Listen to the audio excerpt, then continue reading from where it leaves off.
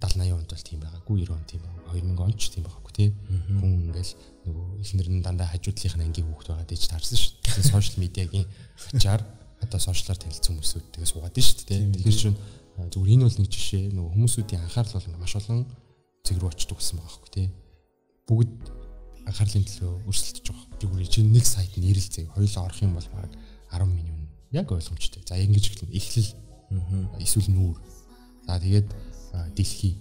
За тэгээд араас нь технологи, улс төр, улс төр, эдийн засаг, эдийн засаг, гадаад мэдээ. гадаад мэдээ. Одоо чи мэдчихэж ш entertainment те. Тэгснэ нэг технологи бас өөрхөн технологи оруулчнаа. Тэгснэ нэг мэдээж нэг ярилцах юм болонтой те. За тэгээд хобби гэж ч юм. Ингээд бүр ойлгомжтой. Бүгд ингээд нэг хэвэн ингээд зүтгэсэн юм шиг те. Угсаал массын одоо хүсдэг зүйл нь тэр юм шүү. Үгүй шүү дээ. Энд чинь хүмүүсүүд ингээд ялгар ялгархгүй байхгүй медиа компаниуд чинь те. Ер нь гэхдээ тех салбарыг ингээд харахаар одоо манайхын амар юм тренд өгдөг гэсэн байхгүй. Ер нь монголчуудын тренд өгдөг хүмүүс юм байна гэж одоо сүүлийн би боддог байсан. Нэг 2 7 хоногийн өмнө кофе асгасан охины талаар ингээд бүгд ярьж илаа. Тэгээ одоо би энд нэг харахаар яагаад ч тэр co-founder-ууд нь хоорондоо тохирохгүй байгааг мэдээд байгаа байхгүй. Тэгээд ингээд relationship нэлээд муудсан тий. Гэтэ ингээд одоо хөрөнгө оруулалт авах гэдэг ч юм уу тий. Ингээд яваад байгаа хүмүүс бол ойлгомжтой. Зарим дээр ингээд яваал гэдэг гэсэн үг юм уу тий. Тэд нар бол угаасаа failed хэрэг. Үнэтэй тул одоо нөгөө салах бол эртгэн сал гэж аахгүй тий. Нөгөө хүний spotlight гарах дургу тий. Тэгэл өөрөө л юм гарч ах сонирхолтой тий. Тэр хүнийг юм бол үл хөндлөх байдлаар ярьдаг ч юм тий.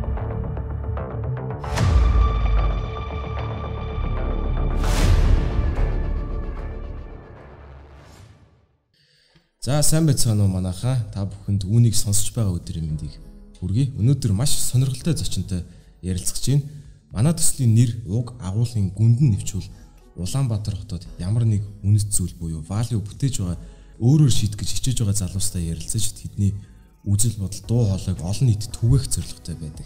За үүний хүрээнд маш олон төрлийн үнцгийг ухаж стартап, entrepreneurship, бизнес, технологи, мэдлэг туршлах хэмээх зүйлс хэрхэн уялдаж орж ирдэг жишээнүүдийг гаргаж ирэх залуучуудын дунд чадах юм уу гэдэг маш том асуултын хариултыг хамтдаа хайхыг үндсэндээ хичээдэг. За тэгэхээр өнөөдөр яг бидний хэдийнэ танил болсон брэнд болох Lemon Press Digital Media компани хамтран үүсгэн байгуулагч гүйцэтгэх захирал анх хоёр энэ ширээн дээр үржиж суусан байна.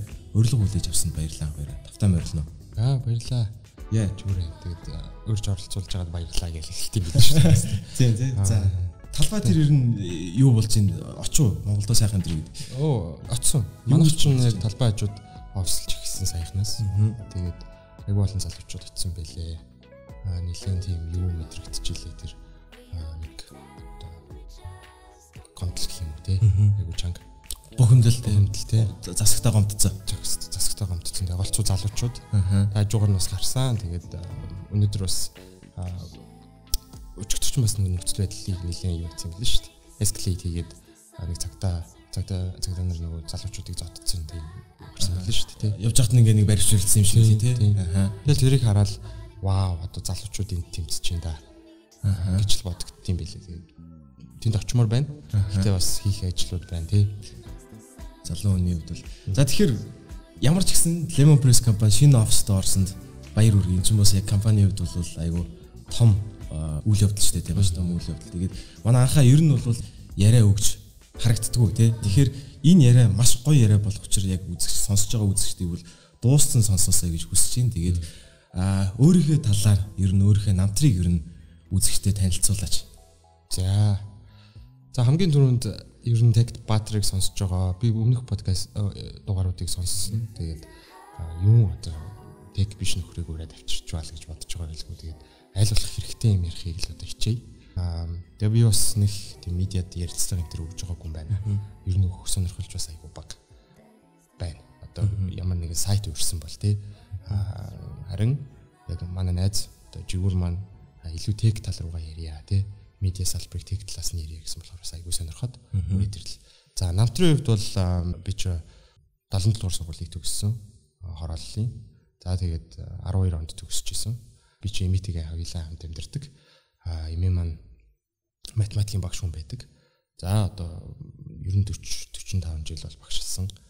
А мэрэгчлээ банк математикийн давтлага өгдөг байсан. Тэгээ би ер нь математикт аягүй дуртай. Бид хоёр ингээ хоёулаа өслөө. За тэгэл ерөөсөө багасаа анх хоёр идэх нь эдийн засгийн мэрэгчлээ болно. За одоо миний хүү эдийн засгаар л сурнаа. Ингээ математик чиглэлээр явнаа гэж ярьдаг байсан. Тэгээд их сургуульд ч гэсэн орсон. Мүйсийн эдийн засгийн сургуулийн сургуулийг л одоо сонгож орсон. Ер нь бол бүх сургуулиудад орох боломж байсан. Хамгийн сайн одоо тоондоо сайнууд нь ордон шүү дээ. Тий. Одоо тэгээд бэлдэж бэлдэж байгаа л орж байгаа шүү дээ. За тэгээд яваад орсон чинь аа мөс эдийн засагт явж ороод яг 12 оны онд болохоор мөс эдийн засаг liberal arts болж ирсэн. Мэргэжлээ 3 дугаар курсээсээ сонгох боломжийг олгодог тий.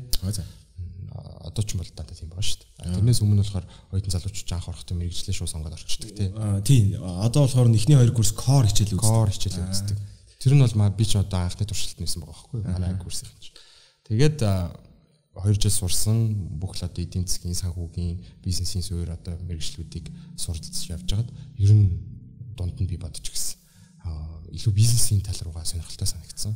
Эдийн засгийн хичээлүүд бол надад нэг тийм яг ч юм сонирхолтой санагдаагүй. Одоо те гэж бодоод тэгээ бизнесийн удирдлага менежментээр сурч байгаа шүү дээ менежмент. Тэнгүүт манай мэрэгчил чинь нэг тийм нэр хүнд муутай байлээ ч аваас одоо ингээд хүнтэй уулзахаар бизнес удирдлага гэж яг юу гэдэг те амар одоо generic ерөнхий ерөнхий. а гэхдээ би тэнд бол айгүй юунуудыг одоо суур юмнуудыг бол сурахыг сурах боломж олцсон. За тэгээ сургуулаа төгсөөд би ажлын гараагаа ер нь худалдаа хөгжлийн банкнд эхэлж байсан дадлага хийж одоо хийгээд те банкны үйл ажиллагаатай танилцах боломж олдлоо. Одоо угаасаа ер нь тэр үржим үеийн эдийн засгийг төгссөн хүмүүс чинь тэгэл банкнд л ордог гэсэн шүү дээ. Эсвэл одоо нэг уулуурхан компани ч юм уу те. Аа тэгээд TDB-г ороод тэр картын удирдлагын газарт одоо дадлага хичгчээр орж байгаа шүү дээ хамгийн их те. Тэгээ нэг л болдгүй банкны тэр атмосфер. Яагаад тэгж бодох тийм л. За ер нь шууд нэг жишээ орж ирж байна. Би ланчныхаа үеэр нэг бичлэг үзээ сууж ирсэн. YouTube-ээр тий нэг хэрэгтэй юм үзчихсэн баг. Тоглоом үзег нь лавтай. Тэгсэн хөө ингээд яагаад цааны цагаар юм бичлэг үзээд байгаа юм тий. Тэр шот бүгд камер мэмэртэй шүү дээ. Тэр өрөөнд офис дээр нэг TDB-ийн head office тий. Одоо нэг гой барилга байгаа шүү дээ. Тэгэл за за ер нь юм юм. Одоо одоо тэгээд би тэр салбарууд дээр суудаг тейлер залуучууд одоо яаж ажилтгийг бол төсөөл мөрчгүй санагдаж байгаа байхгүй. Тэгэл за за болий. Тэгээд тухайн үед Unitel Unitel-ийн DMC цэгийн минь гэж ороод ажлын байрнуудын зар харсан чинь Unitel дээр гүйцэтгэх продюсер гэдэг ажлын байр байна. Киноны одоо киноны төслүүдийн продюсинг хийхтэй төслийг Unitel дээр киноны төсөл байна гэсэн үг. Тийм. А Unitel ч өөр Nomad Pictures гэдэг киноны хөрөнгө оруулалтын компани тийм шүү дээ тийм. Тэгээд тэнд аплайдаад тэнцээгүй. Аа намайг авах юу гүйцэтгэх продюсер анх баяраач тохирохгүй байна. Яагаад гэвэл чиний нас маш залуу байна. Туршлага. Тийм, соёлын салбарын хүмүүсүүд бол илүү ахмад насны хүмүүстэй, туршлагатай хүмүүстэй харилцахтаа таатай байдаг. А гэхдээ ч хамаагүй юм төлөвлөлтийн мэрэгчлэлтэн гэдэг ажил дээр одоо авч болж байна гэд. Тэгээд тэндээс ажлын гаргаа гэсэн 2016 21 онд дус 21 он хүртэл яг 5 жил Unitel-д ажилласан. За тэгээд тэгвэл би чинь контент хөгжил төлөлтийн газар гэдэг илүү контентын бизнес дээр одоо төлөлт контентын бизнесийг нь хариуцдаг газарт ажиллаж байсан. Тэнгүүд Unitel-ийн бодлого бол за Unitel ч өөрөө айгуу том дэд бүтцийн компани те интернет байгууллагын болон өрхийн интернет үзүүлж чинь операторын үйлчлэгээ үзүүлж чинь тийм суур одоо дэд бүтцүүд дэд бүтцүүд байгаа. Одоо Монголын хамгийн том subscription business гэж би хөдөө бодод байгаа байхгүй. Технологи талаасаа тийм. Тэнгүүд тэнд илүү контент гингүүд value added service гэж одоо контентийг харж эхэлж байгаа байхгүй. Тэрний юу гэхээр одоо байгаа үндсэн бизнес дээрээ үнц нэмэх босод өөр төрлийн бүтээгдэхүүнүүд юу байгаа вэ гэхээр контент болчихж байгаа байхгүй. Тэгэл тэндээс ерөөсөө контентын талаар би ойлгож эхлэх боломж гарч байгаа байхгүй. Хэдэн оны үед гэсэн үг 16 онд шүү дээ. А яг тэр ажилласан орсон газараас эхлээд мөчөөс эхлээд мөчөөс эхлээл. За тэгээд тэр үед ороод анх бол тэгж юм киноны төсөл мөсөл гэсэн юм руу орохгүй шүү дээ. Анх бол Excel sheet шүү дээ тий. Ер нь бол би Excel дээр өөрийгөө маш сайн ажилтдаг гэж боддог. Маш цэвэрхэн ажилтдаг гэж боддог. Excel дээр л ер нь амьдралаа өнгөрүүлсэн тий хөрхий. Тэгээд шилдэг програм тий шилдэг програм. За тэгээд Unitel дээр өөрөө маш их дата хоримтлагддаг. А одоо бас Монголын хамгийн их дататай газар гэж магтгүй тий. би би хэрэглэгчнээ хоорондоо хийж байгаа дуудлагаас ахвалал тий. Тийм ээ тий. Тэр датан дээр үндэслэж дата анализ хийх боломж одоо гарсан. Намайг чи нэг юм юу сураатгаа манай захирал маань. W тийм W биш одоо Query SQL гэж нэрлэдэг шүү дээ. Тийм. SQL-ийг сураатгаач. Одоо энэ баз дээр байгаа мэдээнүүдийг одоо шинжилээд шийдвэр гаргахад хэрэгтэй. Энэ чадварыг сурах хэрэгтэй хэрэгтэй байна. Тэгээд би SQL бич сурч байгаа байхгүй тий. Тэр чинь бол яг үнэндээ амархан. А гэхдээ яг тэр баазын одоо бүтцээс хамаарат ер нь бол хэцүү гэж болох ажиллахгүй. Аа. Тэгээд олон бааз холбогдол олон бааз холбогдол олон table join хийгээ. За тэгээд left join right join хийх юм уу? IT хүмүүс л шууд төсөлж байгаа сонсож байгаа хүмүүс л шүү дээ. Тэгээд би бол өөрийгөө маш сайн SQL бичдэг байсан гэж бодож байна. Ер нь бол тэр нэг баазын structure-ыг ойлгоод яг яаж холбох вэ те? Аль одоо багныг нь аль багантай нь холбичиж хэрэгтэй датагаа яг тоогоо гаргаж авах юм бэ гэдэг чинь бол амар том чаленж шүү дээ. Ер нь бол. За тийм нэг тийм л одоо experience байна. За нэг тийм л намтартай байна. Ямар удаа ярьч ба. Үгүй надаа анх удаа одоо манай дээр хүний намтрыг шууд эхлээд яриулж байгаа байхгүй юу. Одоо манай за нэг 10 дугаар байна уу да тий. Тэгээ яагаад гэж ийм вэ гэхээр ер нь ингээд гадуур ингээд хүмүүстэй ингээд ярилцахад lemon press бол гоё гэж байгаа байхгүй юу. Ер нь нэг тийм муу хэлэх юм бол байхгүй. Айгуу тийм бахархаад байхгүй. Тэнгүүд ямар хүн ард нь яг ямар залуу энийг ингээд хийч вэ гэдэг талаас хүмүүс сонирхож байгаа байх гэж бодоод чиний намтрыг яриулж байгаа шүү. Тэгээ түүнээс бол анхны тохиолдол лээ. Аа тийш үү. Тэгээд ягаад юм lemon press хийсэн тийм. Дөнгөөр залгуулаа тэгээ явчих тийм. Сая миний энэ ажилтай холбогдож байгаа байхгүй. Ер нь бизнесийн шийдвэр гаргалтанд яг юу харж шийдвэр гаргах тийм. Одоо энэ том групп компаниуд байна. Монголын төрөв групп компаниудаас ахуулаад тэр дэлхийн томчууд ер нь яаж шийдвэр гаргах тийм гэдгээс одоо хамгийн гоё асуулт төрж эхэлж байгаа байна. За тэгээд би чинь Curie хараад хэдэн тоог нийлүүлээд харахаас хилжил байгаалахаас шин чинь айгүй юм өргөн комплекс олон хүчин зүйл нөлөөлдөг зүйлс байгаа байхгүй. Эдгээрийг цэгцтэй харж чаддаг лидер одоо байгууллага амжилттай явж. Дараагийн трендийг харж тэ. Тэнгүүд Монголд ер нь одоо ийм үнцээр нь шийдвэр гаргадаг компаниуд байд юм уу? Аа. Байд юм уу те? Тэнгүүд одоо л байж эхэлж байна гэж байгаа байхгүй тий. Тухайн үед чинь бол 16 онд бол ер нь 16 он гэлтгүү одоо ч манай нийт эдийн засаг чинь уул уурхаагаас ингээд айгүй өндөр хамааралтай. За бид хэд өнгөрсөн жил 21 оны топ 100 аж ахуйн нэгжийг одоо энэ худалдаа аж үйлдвэрийн танхим гаргадаг. Тэрийг бас судалж уншигч нартай хүргэж ирсэн. 100 компани 51 жилийн худалдааны компани байхгүй зардаг юм зардаг 10 10-аад 20-оор дард зардаг. Тийм. Аа за тийм мэдээж банкуд байгаа, уул уурхайн компаниуд байгаа. Тэгээд л ер нь болоо байхгүй тийм. Тэнгүүд худалдааны компаниудын хувьд бол нэг тийм амар юу биш. Одоо шийдвэр гаргах гэж ядаад ах зүйл бас биш байж магадгүй. Одоо 10-аар оруулж ирэл 25 төгрөгөөр зарна. Яаж тэр логистик логистикийн асуудлыг шийдэх үү? А тэгэхээр мэдээж одоо BI системүүд байж байгаа тийм Numbersуу тий. Тоонууд. Тоонууд. Гэхдээ баг ингээ харахад бол тэрийг аягүй зэгцтэй хийж байгаа цөөхөл компаниуд байна гэж байна. Ихэнх нь бол одоо баг оруулж ирэл зардаг жишээ тамхины компаниуд тий. Аа за одоо ингээл ойлгомжтой шнэ 3000 төгрөгөөр авч байгаа энд оруулж ирээ 100 4000 төгрөг. Авах хүн байгаа. Авах хүн байгаа. Тэнгүүд яг тэр комплекс шийдвэр гаргалт одоо шийдвэрийг гаргаж байгаа компаниудад хамгийн хэрэгтэй болдог зүйл нь дата юм байна. Мэдээлэл юм байна тий. А ямар хүн ямар компани зөв шийдвэр гаргаж байгаа гэхээр тэр зөв мэдээлэл дээр үнслэж шийдвэр гаргаж байгаа компани л байгаа байхгүй.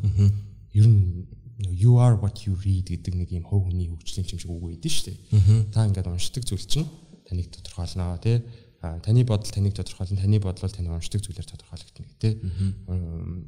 Хүн ер нь өдөрт юу бодож ин тэр чинь өмнөх хэдэн хоногт нь уншсан зүйлнээс л одоо үлгэрлэж гарч байгаа шүү дээ. Тэнгүүд компаниудын хэвд чинь тэр дата датанууд дээр шийдвэр гаргаж гинүү үгүй гэдэг чинь чухал болж байгаа.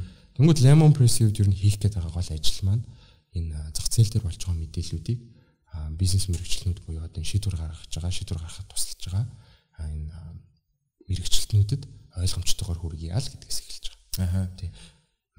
Тэнгүүд яг эхлээс нэг хөөгöd үзэнгүү за Lemon Press дээр айгүй гоё инфографик үүд шүү дээ.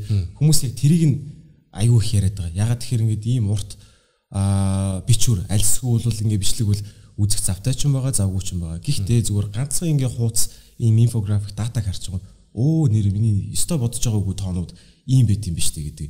Яг энэ бол яг Lemon Press яг үндсэн одоо философиудын нэгэн дээр байгаад байгаа байхгүй. Тэгэхээр яг ингээд түрүүний чиний ярьсан дээр ингээ орж ирэнгүүт одоо яг ойлгомжтой болж гэлаа гэж нэг тийг санагдаж байна. Яг тийм л юм байна гэдэг. Ер нь зүгээр ямар үед одоо аливаа ус хөгжчих юм бэ? Аа одоо нэг юм уус төрчиг асуулт те. Гэхдээ хүн болгон бодож байгаа шүү дээ. Ер нь одоо нэг хөгжүүлмэргүй гэдэг хүн байдаггүй л үү. Байхгүй таач. Бүгд хөгжүүлбэлгүй шүү дээ. Тэгмэд ямар ус хөгжиж байгаа. Тэрийг ер нь хөгжих нэгж нь юу юм гингүүд дотоодын нийт бүтээгдэхүүн гэдэг хэмжүүрэн шүү дээ. Одоо тэр улсыг яг одоо хэмжих. Энэ улс ер нь өндөр хөгжилтэй юм уу, хөгжлөхгүй юм уу тий. Тэнгүүд дотоодын нийт бүтээгдэхүүнийг ер нь ямар үед нэмэгдүүлэх вэ гэдэг нэг асуулт байна шүү дээ. Ямар үед нэмэгдүүлэх вэ? Тий. Яавал нэмэгдэх вэ? Яавал нэмэгдэх вэ? За энэ бол ингээд амар том юу байгаа байхгүй юу? Томьёо. Одоо нэг X квадрат дээр нэг Y квадрат бол биш. Гэхдээ бүтээмж нэмэгдэх ёстой болж таарж байгаа байхгүй тий.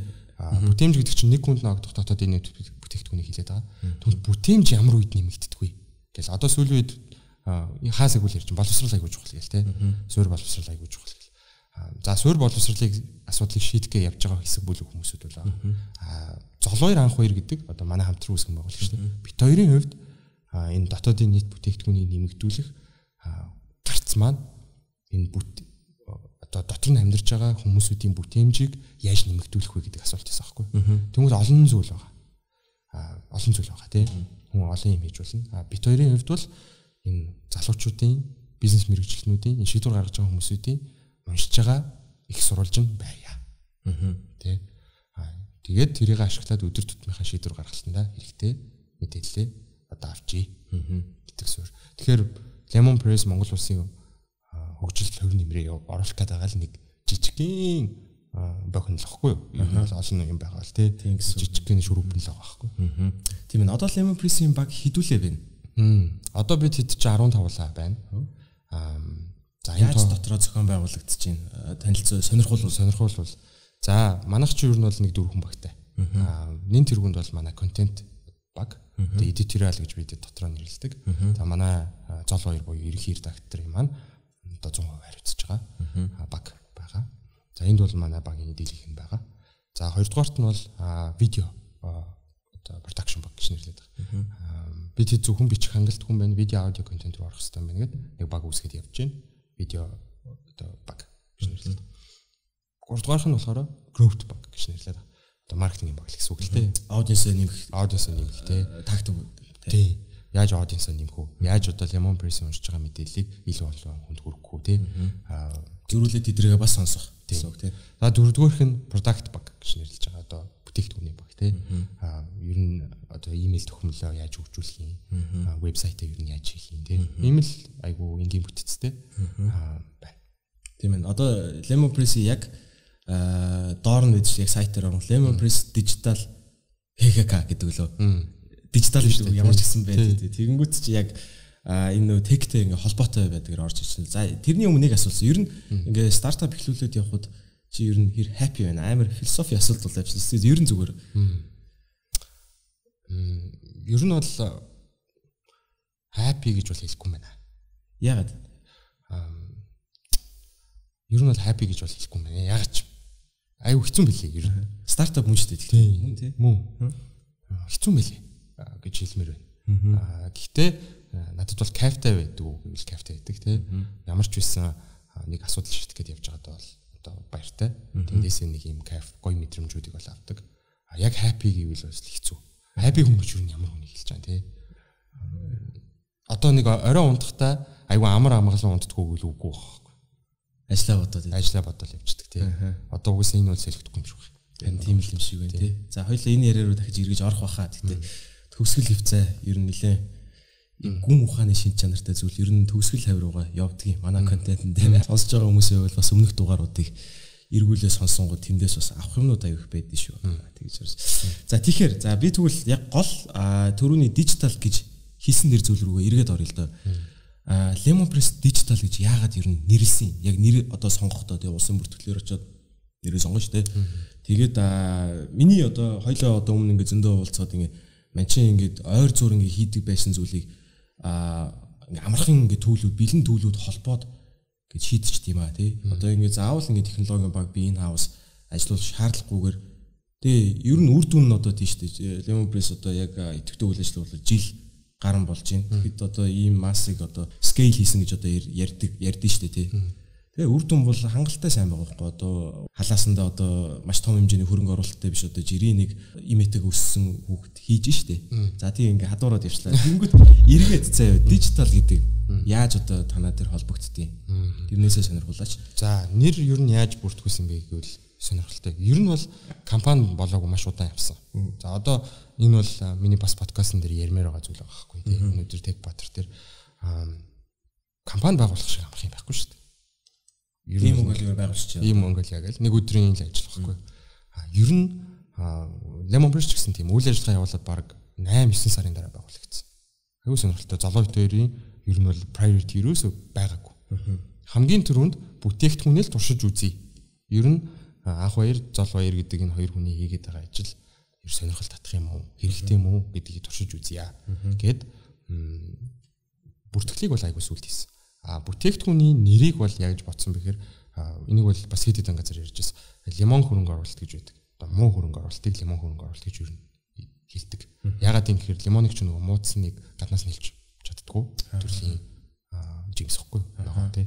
Тэнгүүд лимон хөрөнгө оруулалтыг юу муу хөрөнгө оруулалт гэж хэлдэг. Бидний хувьд лимон пресс буюу юм муу хөрөнгө оруулалтыг прессийг шахаад ойлгуулъя гэдэг байдлаар лимон пресс гэсэн шүү. Нэрний хувьд бол За тэгээд ягаад ер нь дижитал одоо Lemon Press digital гэдэг аа гэхээр бидний хувьд чинь уламжлалт медиа бол биш. Одоо дижитал медиа гэж нэрлэдэг байгаа шүү дээ. Тэгмээ дижитал медиа гэж юу нэг зүгээр нэг сайт юм уу? Тэнгүүд окей, maybe тийм бах. Гэхдээ би TT хувьд бол ийм илүү цогц системээр нэг харж байгаа байхгүй тийм платформ платформоор ингээд харж байгаа байхгүй. Тэнгүүд ер нь залуучууд хаанаас мэдээлэл авдаг болж байна вэ гэдэг нэг асуулт байна шүү дээ. Ханаас мэдээлэл авах нь сүүлийн үед ер нь баг сайт руу дэрэг одоо шууд орж уншсан тохиолдол айгүй хаврах. Голцоо Instagram, Facebook тий ийм өөр платформоор дамжиж мэдээлэл авдаг юм тренд бий болоод шүү дээ тий. А Америкт ч гэсэн айгүй том том сайт платформуд бол байгаа. Гэхдээ тэдгэрүүд яг сууг суугаараа л хүмүүстээ хүрдэг. York Times одоо жишээ нэг 5 сая уншигчтай гэж бодоход сониноор авдаг нэг хэсэг сайтаар нь ордог нэг хэсэг тий апаар нь ордог нэг хэсэг имэйлээр нь авдаг нэг хэсэг гэдэг ингээд тухайн хүний тэр хэрэглээний зан төлөвөөсөө хамаарат маш олон суугаар York Times-ыг уншиж байгаа байхгүй. Тэгэхээр Lemon Press хэвч гисэн эн чинь зөвхөн нэг сайтны зүйл бол биш байгаа байхгүй. Аа тэгээд тэгэхээр ер нь манай хүрх гээд байгаа тэр уншигчдад бид нэр яаж хүрх вэ гэдэг асуулт байгаа байхгүй. Тэгэхээр Lemon Press анх одоо тэр зорилттой зах зээлээ тодорхойлно гэж ярих юм бол ямар ч үсэн нэг юм бизнесийн мэдээг сонирхдаг, оффис суудаг. За одоо цагаан цамц юм уу нэг юм арай тэгцтэй ингээд ажил дээр хурж ирээд өдөр болгоо ажиллаа хийдэг л ямар ч ажлын дээр өмсдөг юм байна. Тийм. Тэнгүүд тэдгээр хүмүүсүүдэд яаж хүрэх вэ гэхээр за сайт хийж болох юм байна, ап хийж болох юм байна. Аа гэтээ ер нь хамгийн хурд нь юу вэ гэвэл cost analysis хийж байгаа хгүй тийм. Тэнгүүд хамгийн efficient, хурдтай, амар арга нь email байхгүй. Email. За тэгээд яг үндэ энэ email чинь бас нэг тийм шин зүйл бол биш. Айл одоо 90-ад оноос хойш байсан зүйл те. Email-ийн технологи гэдэг чинь бүр эртний юм байхгүй 30 одоо 30 хэдэн жил болсон те. Яагаад email-ийг сонгож авсан бэ гэхээр email чи өөрөө айгүй тийм personalized буюу тэр хүний тэр хүнд шууд очдог сууг. Илүү push. Одоо сайт хэрвээ бид нэр хийцэн байсан бол анх манай сайт руу орж ирэх чигээл бөөм бүүст хийх байхгүй. А email-ний хувьд бол та имэйлээ бүртгүүлээд бүртгүүлсэн цагаас хойш тэр хүнд байнга очно. Ямар ч алдаагүй. Имэйлний delivery бол маш сайн. За спам руу н орж магадгүй. За тэр бол тусдаа асуудал. Гэхдээ хэрэглэгчид хүрэх хамгийн дөд зам чинь имэйл байгаа байхгүй. За тэгээ манай хамгийн анхны зардал бол маш бага байсан тий. Email subscription чинь mail чим дээр юу 100 доллар байгаа илүү сарын тий. Тэгэл тэрнээс эхэлж байгаа. Тийм ээ. А түрүүнд хэлсэн маш олон ингээд платформуд байгаа. Тэгэхээр тэрий чинь нэг хүн суугаад ингээ бүгднийг ингээ өө гараараа ингээ үзээд байна гэж бол байхгүй шүү дээ. Тэгээд тий чи ингээ автоматжуулах ингээ ажлын дээр бас гарна тий. Тэгээд тэр тэр тэрийг би бас ингээ санаад байна л да. Тэр тухай дахиад үлгэр үргэлжлүүл яриад байна. За Lemon Press дээр бол ерөн технологиг ашиглах гэж айгүй хичээдэг. Одоо уншиж байгаа хүмүүсүүд бас жоохон өө наах хоёр одоо бас технологи мэдлэггүй ижиж яг гэдэг нэ гэж бодож магадгүй. Би ч өөрөө product manager тал руугаа хүмбэхгүй. Өмнө нь бол бас нэг стартап хийжсэн. Одоо Tech Battery подкастны зочин нөгөө амар хоёр шүү дээ. Амар амар хоёр бит хоёр чинь нэг data app хийжсэн. 18 оноос 19 оноос 19 онд 18-аас 19 Тиндрийн Монгол хувилбар. Тиндрийн Кайндер гэж хэлж болохгүй шүү. Тэгвэл бид хоёр айгүй юу яа. Аа тийм ээ. Муу мэдрэмж авна шүү. Тэр чинь бас өөр зорилготой явж байгаа шүү дээ. Аа тэгэхэд ер нь технологийн бүтээгдэхүүнийг одоо үүсгэхээс нахвалаад хөгжүүлээд те зах зээл гаргах тэр процессыг би experience хийсэн байхгүй. За Unity дээр ч гэсэн experience хийсэн. Одоо Intel-ийн манай төслүүдэд Look TV, Jigjug ингээд технологийн төслүүд бас байгаа. А аль алин дээр нь би ажиллаж байсан байхгүй.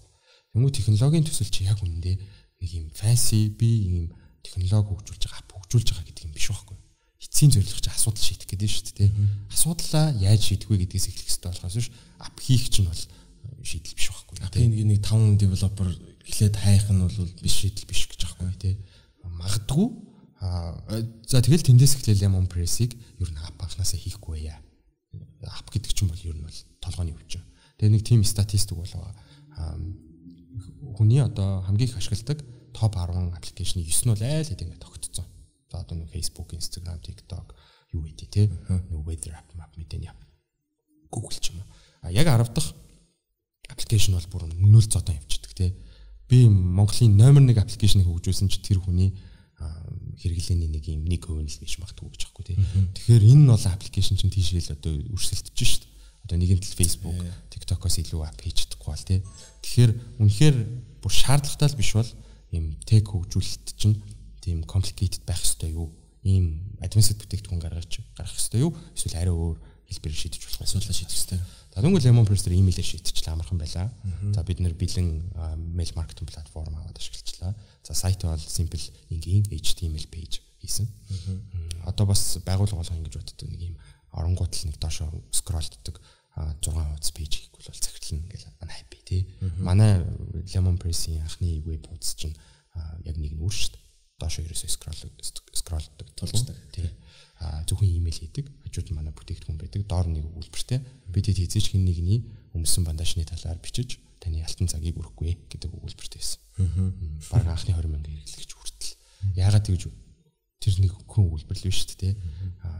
Тэгжээж тэр хүмүүсүүдийн анхаарлыг бас татах хэрэгтэй болж байгаа За тэгээд нэг simple HTML сайт хийлээ. Имэйлээ одоо MailChimp-ээр өрөөд явуулчин тэ. Харин манай дотоод процесс дээр технологиг ашиглах уу гэвэл ашиглаж эхэлж байхгүй одоо. За нэг жишээ дуртахад бол манай одоо имэйл төхөмлийн хамгийн дээр хамтарч ажиллах, сурчлагаа сурчлагаа байршуулах гэдэг хэсэг байдаг. Тэн дээр дараад манай Google формыг бөөсөн тохиолдолд манай Slack руу Zapier-ээр дамжаад шууд notification үлдэрдэг. Very simple. Хинч хийж чадна Харин хийд юм болов гэхүүл айгүй хэцүү. Тэр нь бараг ямар ч зардалгүй. 0 доллар. 0 доллар. Zapier-ыг би санджин сард 100 зап явуулдаг байхгүй юу? Тэгээ 0 доллар шүү. Биднэрт сард бол нэг 100 хамт ажиллагаа л ер нь ирдээ. Макс та тий. Тэгэхээр чинь одоохондоо бол зардал гарахгүй байна. Аа гэдэг ч юм уу. Тэгэхээр яаж одоо технологиг ашиглаж процессыг сайжруулах уу гэдэг л question байна. А Lemon Press ирээдүйн ажил руу руу бол одоо технологийн хэрэглээ бол айгүй их орох хэрэгтэй болж байгаа. А тэр бол бас дахиад өөр хэлцүүлэх тий. Одоо бид хэд чи за имэйл өхмөл хүргээд байна. Анх хоёраа тэгээ чи яг яах гэдэг юм гэдэг хүмүүс байж ш магадгүй. Тий. Одоо яг тэгж байгаа тий. Окей нэг хөрхэн имэйл явуулдаг хөрхэн хөөгдөл биш тий. Одоо тэгээд яах гэдэг юм тий. Золоонхаа гэх хоёр нөхөр одоо яах гэдэг юм гэж ивэл бид хэдийн гол одоо эрхэм зорилго чинь Монголын хөрөнгөний зах зээлийн хөгжлийг хурцсана гэж томьёосон байдаг. Энийг бол бич мэднэ компани залууч мэднэ мишн дээр. Тийм. Вишн үү? Мишн. Мишн. Тийм. Хинч мэднэ. Энэ бол одоо бид тийм програм ингээд тусанд гүйж байгаа. А компаниуд нөө мишн вишнээ мэдхээ болчдөг. Одоо надад бас тийм туршлага бол байгаа. Ингээд стартапуудад очиод би хүн хит хит стартапуудыг мэднэ. Одоо очиод экспириенс хийжсэн зүйлхгүй. Ажилт нь яг үнэ мишн вишнээ мэддэггүй те. Их их компаниуд тийм Монголд тийм. Эрхэм зорилго гэж вэ? Одоо MCS-ийн эрхэм зорилгыг би бол мэдэх байхгүй. Дэлхийн хөгжлийг Монголд. А ягаад гэвэл би MCS одоо Unity-л байхад би тэр эрхэм зорилгыг маш олоодаа сонсч байсан байхгүй хүмүүс тий. Тэгэхээр яг тэрнтэй адилхан. За тэгээд хөрөнгөний зах зээлийн хөгжлийг хурцгах гэдэг чинь email явуулаа болчих ажил бол ерөөсөө биш. А ер нь яагаад хөрөнгөний зах зээл хөгжих хэрэгтэй юм бэ гэдэг асуулт шүү дээ. За одоо бүр ингээд дэшигээ явах юм бол тэнгууд альва хөгжсөн улсууд одоо Америк, Япон, Герман ч гэдэг юм уу тий. Энэ улсуудад хамгийн инновацлог байж чадсан хамгийн асуудлыг зөв шийдэж чадсан тэр асуудлаа шийдээд тэр нэг өгөөжөө өөрөө хүртдэг систем чи хөрөнгөний зах зээл байгаа байхгүй. За үүний хамгийн тод жишээ нь магадгүй одоо альтернатив чи Elon Musk баг. Tesla гээл одоо ирсэн одоо дэлхийн хамгийн баян хүн болсон билүү яла тий. Тэгээ саяхан болсон баг. Тийм. За Amazon юу Jeff Bezos нөө нөө Steve Jobs нэ хамаагүй бидний уншиж өссөн залуучууд тий. Одоо Японы Masayoshi Son ч юм уу тий. Son ч юм уу. Эдгээр хүмүүс чинь хөрөнгөний зах зээл хөгжсөн улсуудад тэр асуудлыг шийдээд өгөөжөө бүр нэмэгдүүлээд өөрийнхөө network буюу тэр хөрөнгөний хэмжээг нэмсээр байгаад ингээд одоогийн өндөрлөлт төр хүрч штэ. Тэнгүү тэр систем чинь хүнийг хурцлалтай юм байна. Ер нь одоо боддоо чигүүрээ нэг стартап хийгээд IPO хийгээд нэг 10 жилийн дараа нэг гой газар арал дээр амьдрмаар л байгаа л үүдээ тий. Тэнгүү тэр систем чинь хөрөнгөний зах зээлд масаараа fair competition болгож өгч байгаа байхгүй шудраг хин сайн ажилласан ялдаг систем. Монголд бол тийм биш шүү дээ. Одоо энэ хөрөнгөний зах зээл хөрөнгөний зах зээлийн хөгжлийн банкны асуудал тий. Жидүүгийн зээл. Одоо яагаад өнөөдөр юу н талбай дээр залуучууд ихсаад байгаа юм тий. Эн чин эцсийн дүндээ энэ залуучууд ингээл нэг герт нь том төгрөг аваад иргэж энэ усуудаас нэхийг байхгүй. Бид нарт fair compete хийх орчныг мань бүрдүүлээч ээл гэдэг зүйл ярьж штэ. Шудраг өрсөлдөд мөр байхад тий. Дан залуучууд байгаа юм чинь одоо тийм тийм л байж штэ ер нь. Тийм штэ. Одоо ер нь бол халамжид дурт залуу хүн байна уу? Байхгүй штэ бид хэд биччихсэн 66 билүү халамж байгаа 66 төрлийн халамж тий. Энэ 66 төрлийн халамж чинь улсын төсвийн маш том одоо том зардал нь бол энэ халамж гэдэг бүтээгдэхүүн. Тэгтэл залуучууд бол тийм халамжаар амьдраад байгаа юм бол байхгүй шүү дээ. Ирээдүйч амьдрмааргүй нь яг үндэ. Би бол одоо өнгөрсөн жил нөгөө Метал 2-ын Nogla шиг 300 сая төгрөг тарахад окей яг гэл авч байгаа байхгүй. Тиймээс бол наад тэр 300 сая төгрөгийг надад өгж байхаас илүүтэй тэр fair competition жалаагүй өгч өгөөгүй ч яла тий fair competition-ыг үүсгэх зүйл рүүгээ хөрөнгө оруулах хэрэгтэй байхгүй. Тэр төрчин өөрөө тий гэтэл тийхгүй байна. Гэдэг чинь гол асуудал шүү дээ тий За дараагийн асуулт нэг ингэж бодоод байна л да. За Unity-л 5 жил ажилласан гэд тэгж байгаа. За MCS-ийн яг culture бол Монголд бол хамгийн best одоо хүнийг яг ингээ бүрэн төлөвшүүлдэг тий. Яг бизнес бол бизнесийн хүн тий Э, нийгмийн одоо бүтээгдэхүүн одоо нийгмийн элемент бол элемент тий айгүй тийм зөв төлөвшүүлдэг юм шиг санагддаг тий угаасаа л тийм байгаа шүү дээ тий тэгээд 5 жил явчихсан. Тэгээд тэр систем гэдэг юм уу альсгүй бол одоо дассан ажилласаа хувь хүний хувьд хэцүү амаргүй. Тэгээд ер нь яагаад одоо хувьдаа стартап одоо нэг юм хий тий хувьдаа юм хийл гэж одоо яриад байна шүү тий тэгдэм бэ? Тэгээд тэр нь амар байд юм уу? Ер нь ялгаа нь юу байна гэдэг? Гурван асуулт асуучлаа аа За шууд богино хариулъя тий. За тий. нийгэмдээ л одоо импакт буюу нэг нөлөө үзүүлмээр байсан. Аа. Аа за ер нь тэгээд Lemon Press-ийг бизнес болгож бол ер нь хийдэггүй. Аа залуу хоёр бит хоёр ер нь эндээс залуу хоёр бит хоёр ч яг одоо ер нь бит хоёрын анхны мотивашн бол ерөөсөө мөнгө байгаагүй. Lemon Press-ийг хийгээд хоёлаа тэтоны сонгуулаар нь цөм хийгээд кэш аваад хийгээд тий чи нэг байшаа ав би нэг машин авъя гэж юус огт яриаггүй. Ер нь бол манай тэр миний ч хувьд тэр ямар ч компанид ороод нэг гайгүйхан шиг мэрэгчлэлтнийг нь хийгээд сарын нэг сая 500 сая төгрөг бол авчих хүмүүс шүү дээ тий. Гол мотивашн тэр импакт л байгаа байхгүй. Аа гэж л одоо ажилласаа гарсан. Тиймээс бол MCS одоо Unitel-ийн соёл бол үнэхээр супер.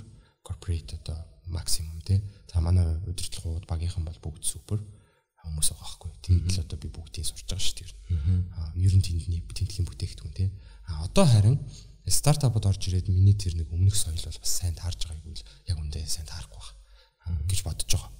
Яагаад гэвэл яагаад тэгэхээр одоо ч нөгөө мэрэгчлэлтнүүд ер нь залуучуудын хүсдэг юм чинь бас өөр болж эхэлж шүү дээ. Тэнгүүд миний нэг юм сурсан одоо миний тэр нэг амьд үлдсэн survive хийсэн тэр орчин чинь бол шал өөр юм баахгүй. Одоо корпоратууд ч бас мэдж байгаа шүү дээ чигээр. Чи хийгээл хийдэг, overtime суудаг. Өстой ингээл survive хийгээл явж байгаа шүү дээ. Одоо би бол одоо нөгөө за одоо энийг хэлж болох юм болохгүй ба цалин нэмүүлэе гэж бол амьдралдаа хэлж байгаагүй тий. Өгсний лавдагч гэх юм уу тий. Тэгээ цалин нэмүүлэхгүй байсан ч happy явдаг л байсан байхгүй. Гэхдээ энийг би одоо манай залуучууд ингэх ёстой гэж хэлж байгаа юм биш байхгүй. Энэ ч өөр болж байгаа байхгүй тий. Тэгэхээр миний хуучин тэр соёл бол одоо энэ соёл бол тохирохгүй байна гэдгийг бол би аягүй сайн ойлгож мэдсэн. Аа. Та нэг тийм л жоохон хазарч байгаа нэг тийм л тийм ээ. Захирлын хэр байна ирээд. Мм. Оо би ер нь захирал махирал гэж нэг юу байдгүй шүү дээ. Ингээл аа гэхдээ ер нь компани захирал гүйцэтгэх захирал гэдэг хүний чинь өөр нь юу юм? тий. Тэр алсын хараа стратегийг тодорхойлох, зөв бага бүрдүүлэх, тий.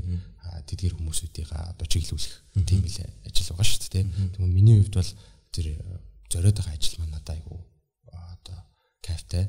Учраас тий утга учиртай байгаа учраас айгу дуртай л байдаг. Тэгээ яг гоо тэрийг өмнө бас тулгаа тулга захиралтай Колброгийн үсгэн байгуулагч тэгээ яг энэ талаар ярьж исэн. Тэгээд бас нэг асуулт. Одоо аа байгууллага болгон дээр за магадгүй одоо яг түрүүний хэлсэн нэг орчин үе солигдоод байна. Өөр болоод байна гэдэг чинь ш. Тэгээд яг нууц биш байгаа бол хүн болгоно нэг бас нэг удаа нэг юм хийчмээр юм шиг тийм Монгол хүний занч үт юм альсгүй бол ер нь тэгдэг. За барууны компаниудыг хараад байхад л за Google, Amazon-д ингээ ажиллажсэн 2 3 жил ажиллаа болцлоо гэд тусдаа ингээд нэг юм тугаа мандуулах гэж одоо явна гэж одоо энгийнээр одоо эсвэл арай жоохон фаны гарч үт юм уу тэгээд ярьчих. Тэнгүүтээ нэг газар одоо системд ажиллаа. За би ингэ болчлоо гэж үзэнгүүтээ яг өргөдлөө өгдөн штэ дарагтаа тий.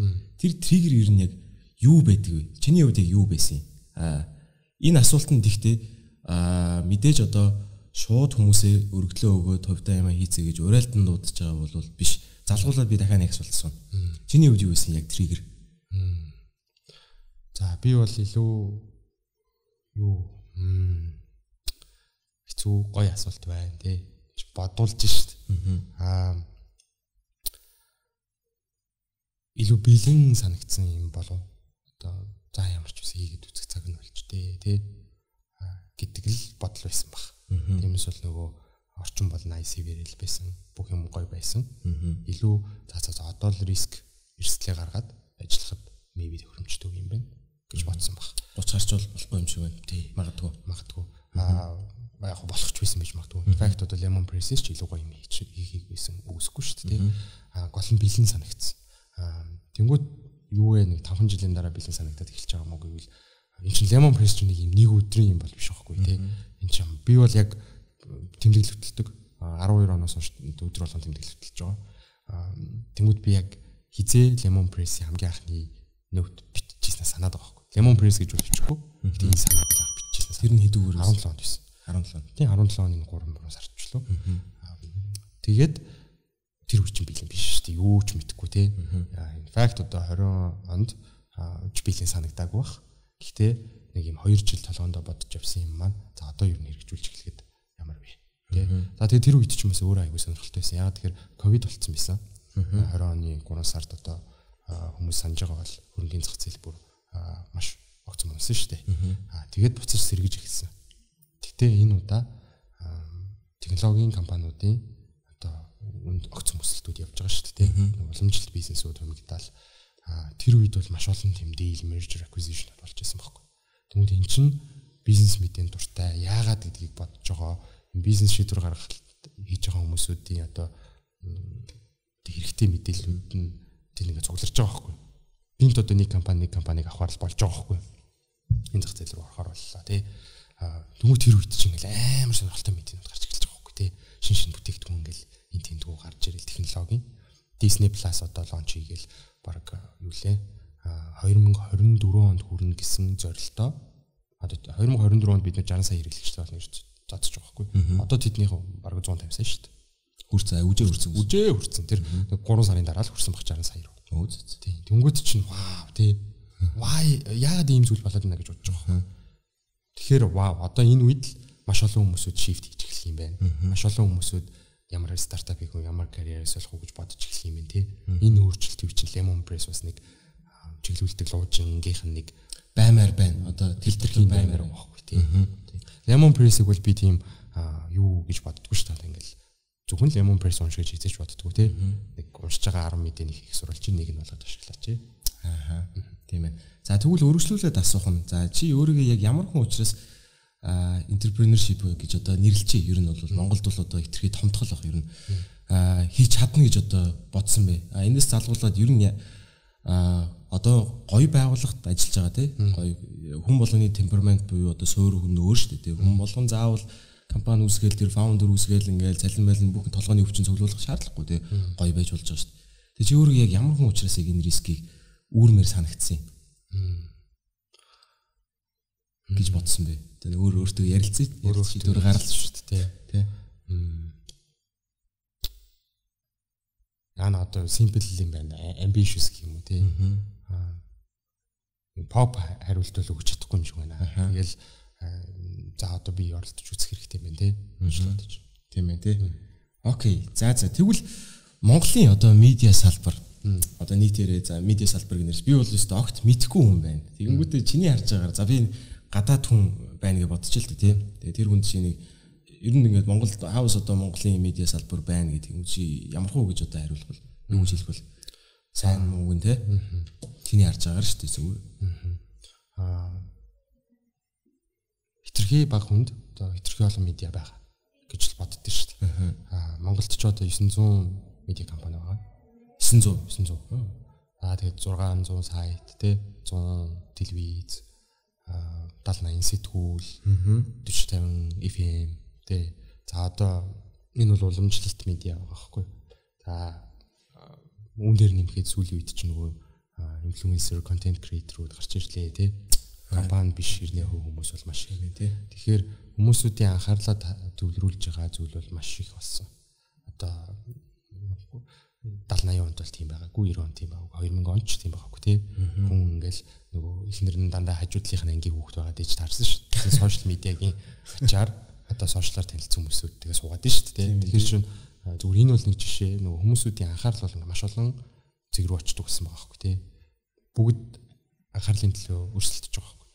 Тэгэнгүүт Монгол байгаа энэ компаниуд чинь нөгөө хитрхи анхаарлуудыг татахын тулд чинь хэрэггүй мэдээллүүдийг бөмбөгддөг тий. Тэгээ энэ медиа компаниудын хооронд баг ялгарл гэдэг юм байхгүй.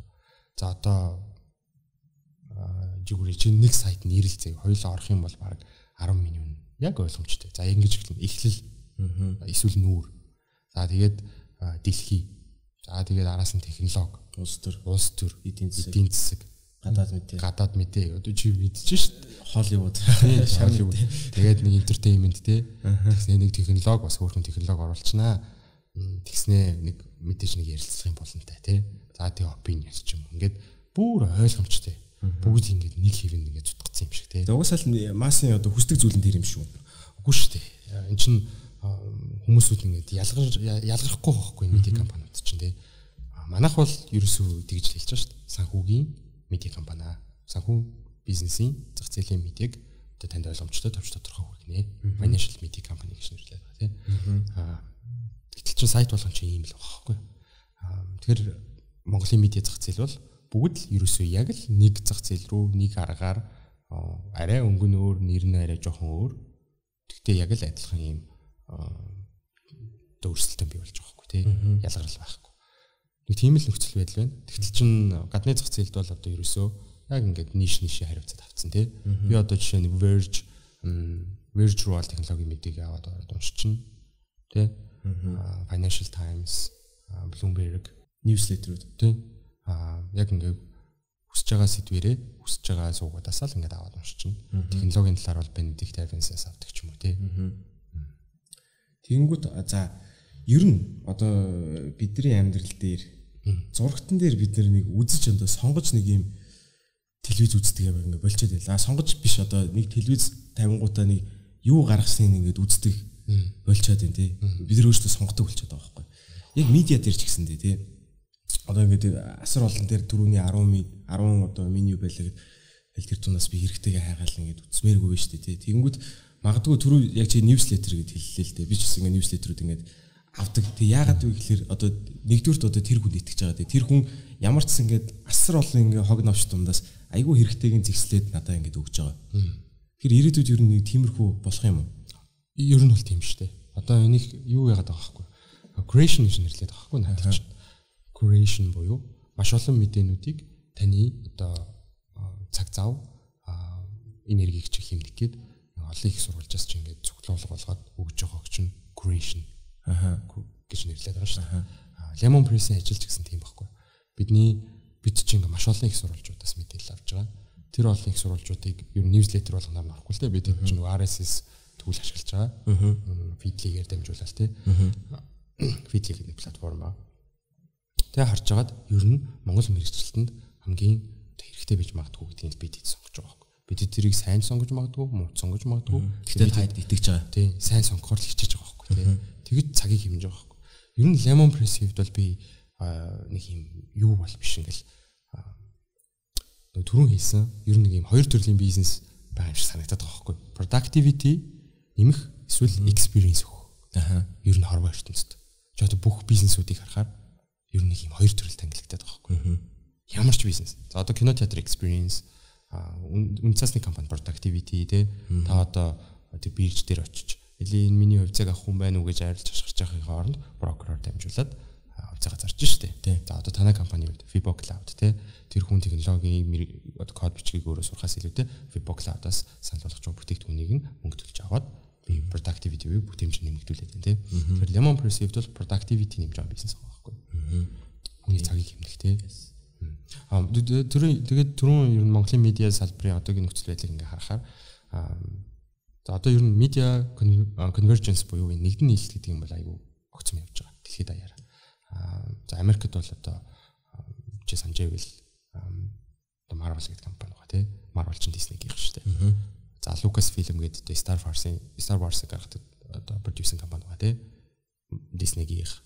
За чи нэг медиа компани л дээ ер нь нэг суугч юм уу ABC. За Disney-ийн тий Америк ч нэг юм 6 групп компани байгаа. ESPN за. Тэгээ ESPN чинь Disney-ийн их те. Аа тэгэхээр юм нэгдэн нийлж болж байгаа. Тий. Бас Disney. Fox болохоор аа юу штэ. 20 дугаар зуун Fox-их 21st Century Fox-их аа баггүй. Тэгсэн чинь Fox Disney хоёр чинь сая дахиад нийлсэн баг. За зү. Тий. Merge болж. Одоо 6 компани байсан чинь 5 компани болцсон. Монгол ч гэсэн ер нь бол юм байгаа. Монгол групп, медиа групп компаниуд бол байгаа шүү дээ. Одоо хичнээн одоо групп байх байдیں۔ 6 6 одоо бид том ялаад байгаа. Бид хэд жоохон одоо тийм бид хэд те. Яг одоо ингээл хүмүүстэй хүмүүстэй community байгаа юм чинь мэдэгдэн гэсэн бэл. 6 медиа компани групп байна. Lemon Press-ийн хувьд бол аль нь ч биш. Өөр компаниудын хувьд ч гэсэн аль нь ч биш бол байгаа. Гэтэ яг ийм зардлыг efficient synergyтэй хийж байгаа нэг 6 групп компаниуд байгаа байхгүй. Гэхдээ нэг common одоо нийтлэг төрх нь бол бүгд магадгүй жоохон ус төртэй холбоотой тий. Санхүүжүүлэгч нь ус төр ч юм. 6 болоо бол тийм гэж байгаа юм биш. Гэтэ ер нь бол дийлэх тий. Тийм ээ. Одоо сонноос гэвэл яг түрүүн улс төр гэсэн чинь нэг ийм л юм ажиглагдлаа л да. Улс төрийн мэдээ бичихгүй бол угаасаа хандлт авахгүй байна. Ер нь бол аль сайтын хувьд бол ингээд талбай дарагч лайв хийгээд мөнх эрдэнэ одоо хаана тэ нэг лайв хийдэг ах шүү дээ. Хаана нэвчин тэрийг ингээд сурчлахгүй бол хандлах авахгүй байна л да. Тийм шиг санагдаа. Тэнгүүд яг би нэг өөрийнхөө юмтайгаа холбож ирэх гэдэг юм л да. Манай компанийн хувьд ингээд хаяа ингээд нэг хөрх хөрх ингээд шийдэл хийждэг байхгүй юу? Ингээд тэрийг бас өөртөө гэл гавья гэж бодно шүү дээ. За дотроо мэдээж ингээд жижигхэн winning party ингээд найр хийж чаана. Тэгснэ гадагшаа ингээд бас мэддэгдмээр шүү дээ. Тэгээд босод одоо манад ингээд орж ирвэл бас ингээд гоё юм асуудал шийддэг шүү. Тэрний төлөө л ажиллаж байгаа шүү дээ. Яг үндэ бол лаг цалаахгүй шүү дээ. Монгол таач Тэгэл нэг icon ч юм уу нэг go go ч юм уу ингээл 50 мэдээ за нэг сайт төгрөгөөр ч юм уу 50. Тэгснэ нэг улс төрийн ингээ мэдээ мэдээ за ингээ хөрөлсөх ерөнхийлөгч оюун эрдэнэ ингээл тэгснэ Fibo Cloud тэгснэ залгуулаа Янбаатар гэл. Тэгэл урсаал халууцны 2 200 хүн орж үзт юм уу юм мэдгүй. Тэгээд одоо яагаад бид нар ингээд өөрсдөө ингээд дуурмаар байна шүү дээ. Тэгээд одоо манд ч бас ингээд контент хийж байгаа санаа нь бол энэ л дээ. Гэхдээ анх тэгж бодсон боловч а ер нь бол одоо бүтэн контент үз Fibo Cloud-ыг яриад л тааш тэгээд зүйлдээ өөрөө ер нь community гүн болох хэрэгтэй байна гэж зөвөр бодсон яг хальт хазаагаад ороход эргээд харахад бол медиа гэдэг бол би чухал юм байна гэдэг бас ойлгочод хүлэмжшөөрöd байгаа гэсэн үг. За тийш тий. Суулт байхгүй тий. Зүгээр opinion тий. Йоо энэ дэр opinion нэмж хэлгээд медиа салбарын эдийн засаг гэдэг чинь өөрөө бүр existential question байхгүй. Аа одоо тег энэ подкастыг сонсож байгаа хүмүүс сонирхолгүй санагдчихж магадгүй. Тэгээ бид жоохон тегтэй холбож хэлье. Ер нь альва компани бизнес модель гэдэг чухал тийм үү? За тэр бизнес модель хүчтэй, sustainable, давтамжны ойлгомжтой байх тусмаа тэр компани цэгцтэй, эмх цэгцтэй томруулаад захирлын 9 шидийн санаа зовхгүй гэр ингээд томрно шүү дээ. Ямар ч стартап байсан тий. Тэгтэл медиа бизнес хоёлаа ингээд эхлүүллээ гэж бод юм аргааш тий. Тэнгүүд хоёулынгийнх нь мөнгө олох хамгийн ихний боломж нь ер нь сурталчилгаа байгаа байхгүй. За энэ 900 компани ч юм бол ер нь 900-аас сурталчилгаа. Хүн байгаа сайн л үг шүү дээ. Тий. Тэнгүү сурталчилгаа гэдэг чинь юу хэлж байгаа гэхээр нэг компанитай хамтарч ажиллах гэдэг шүү дээ. Тэр компанитай гэрээ байгуулна. Та юу гэж хүчмээр байна гэж асууна. Тэр компаниас нэг юм аваад яг тэр нэгийг тавих асуудал болчиход байгаа байхгүй тий. Тэгжиж тэр хүмүүс ч олсон мөнгөөрөө тэр сайн нөгөөний баттар хөрс хоёр эрдний бичмээр биш шүү дээ тий. Аа Тэнгүүд ер нь сурчлагаанаас өөр ямар бизнесийн модельд байгаа гэхээр дэлхийн трендийг одоо ярих юм бол subscription business руу орж байгаа. Одоо хүмүүс ч бас өөрчлөгдөд юм те. Гадны хүмүүс ч өөрчлөгдөд нь шүү дээ. Та одоо энэ подкастыг сонсож байгаа хүмүүс бол Netflix үздэг гэдэгт би итгэлтэй. Netflix-т 15 доллараар төлж байгаа шүү дээ. Одоо Монгол мөнгөний 50 сая төгрөг шүү дээ. Та болчлоо тий. Та болчлоо. 50 сая төгрөг.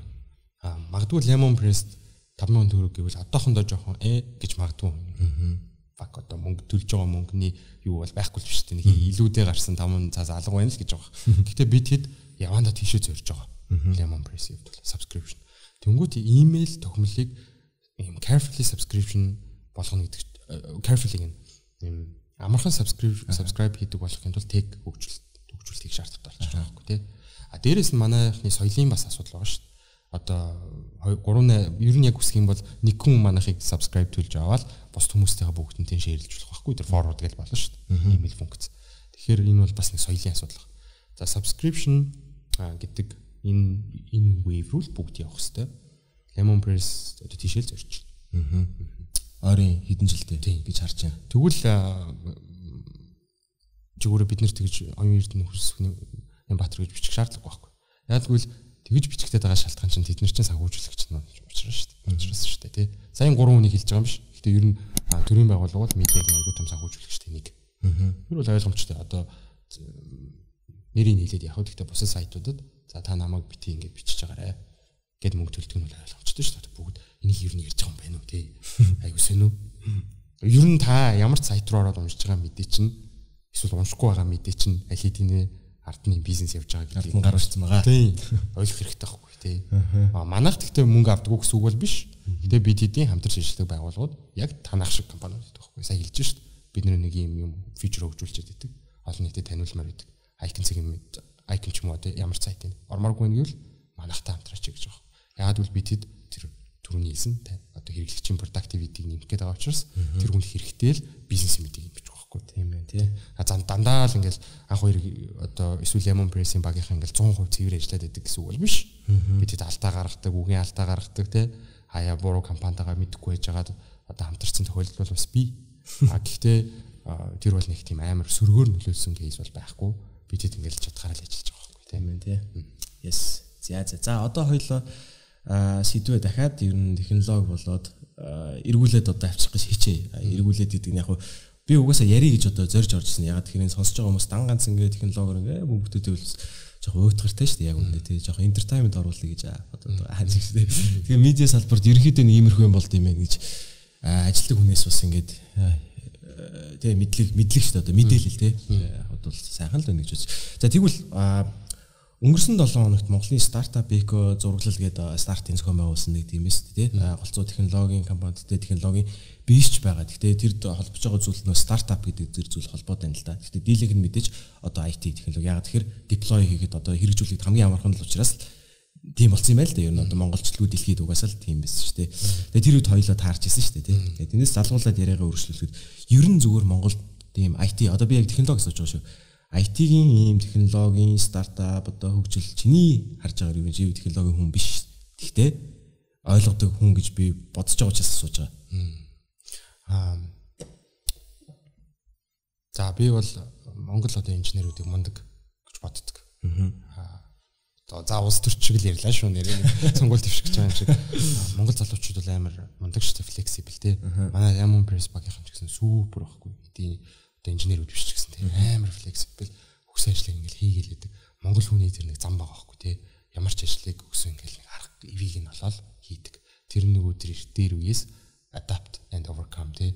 Нөгөө нүүдэлчин соёл чи өөрөө ямар ч нөхцөл байдлыг давдаг. Тэр чин чанар нь одооний манай монголчуудад байгаа байхгүй. Амар юм ямар ч асуудал баг шийдсэн тэр нэг ингээд эвлүүлээ шийддэг те. Энэ бол инженерүүд дээр ч гэсэн ажиглаж байгаа юм шиг харагддаг шүү. Ингээл тэр хөрхи фронт энд инженер байсан ч нэг back end problem өгч нэг юм бааз үсгэдэг тий гэвэл хөрхийн нөгөөтгний stack overflow-оос хайс харгаал юм. Ямар нэг аргаар гаргаж л ирэх хөрхий тий тэгэхээр манай инженерүүд бол мундаг.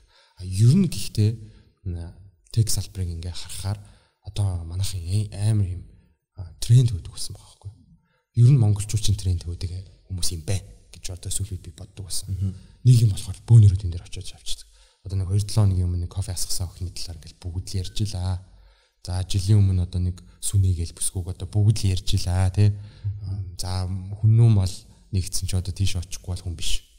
Боба хоба тий одоо Шангрилагийн доор байгаа хоба пицца руу орж пицца идэхгүй бол хүн биш. Одоо энэ Fat Hen Chicken гээд шинэ бүргэрний газар нэгдсэн. Тийш очиж бүргэр идэхгүй бол ерөөсөө дутуугүй комплекс мэдрэмж авдаг тий. Тэр гоё юм шиг үлээ тий. Тэр шитгэдэг гоё юм байл шүү. Би бол хид хид удаацсан. Тэгэхээр эндээс ингээ харахад бол монголчууд айгүй хэм тренд ийм бусад хүмүүс юу ярьж байна хаашаач чинь гэдгийг ингээ хардаг дуурайдаг хүмүүс байгаа байхгүй. Тэнгүүд тэр нь тег салбар дээр ч гэсэн байна. За одоо манайх Lemon Press дээр тег хөгжүүлэлт хийх шаардлагатай болж байгаа. Гэтэ инженерүүдтэй уулзгаар одоо ерөөсөө л айгүй юм түгээмээс өсөж байгаа маань machine learning, artificial intelligence, web 3, metaverse, blockchain гэл те. Яг ингээд нэг 100 инженерийг яриулах юм бол яг нэг юм 5 keyword тэндээс гарч ирэхээр байгаа байхгүй тий.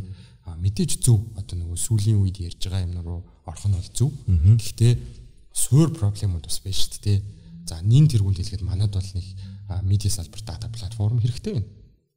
А одоо Bloomberg гэх компани байгаа шүү дээ. Bloomberg ч юм бол өөрөө технологи медиа медиа компани биш байхгүй.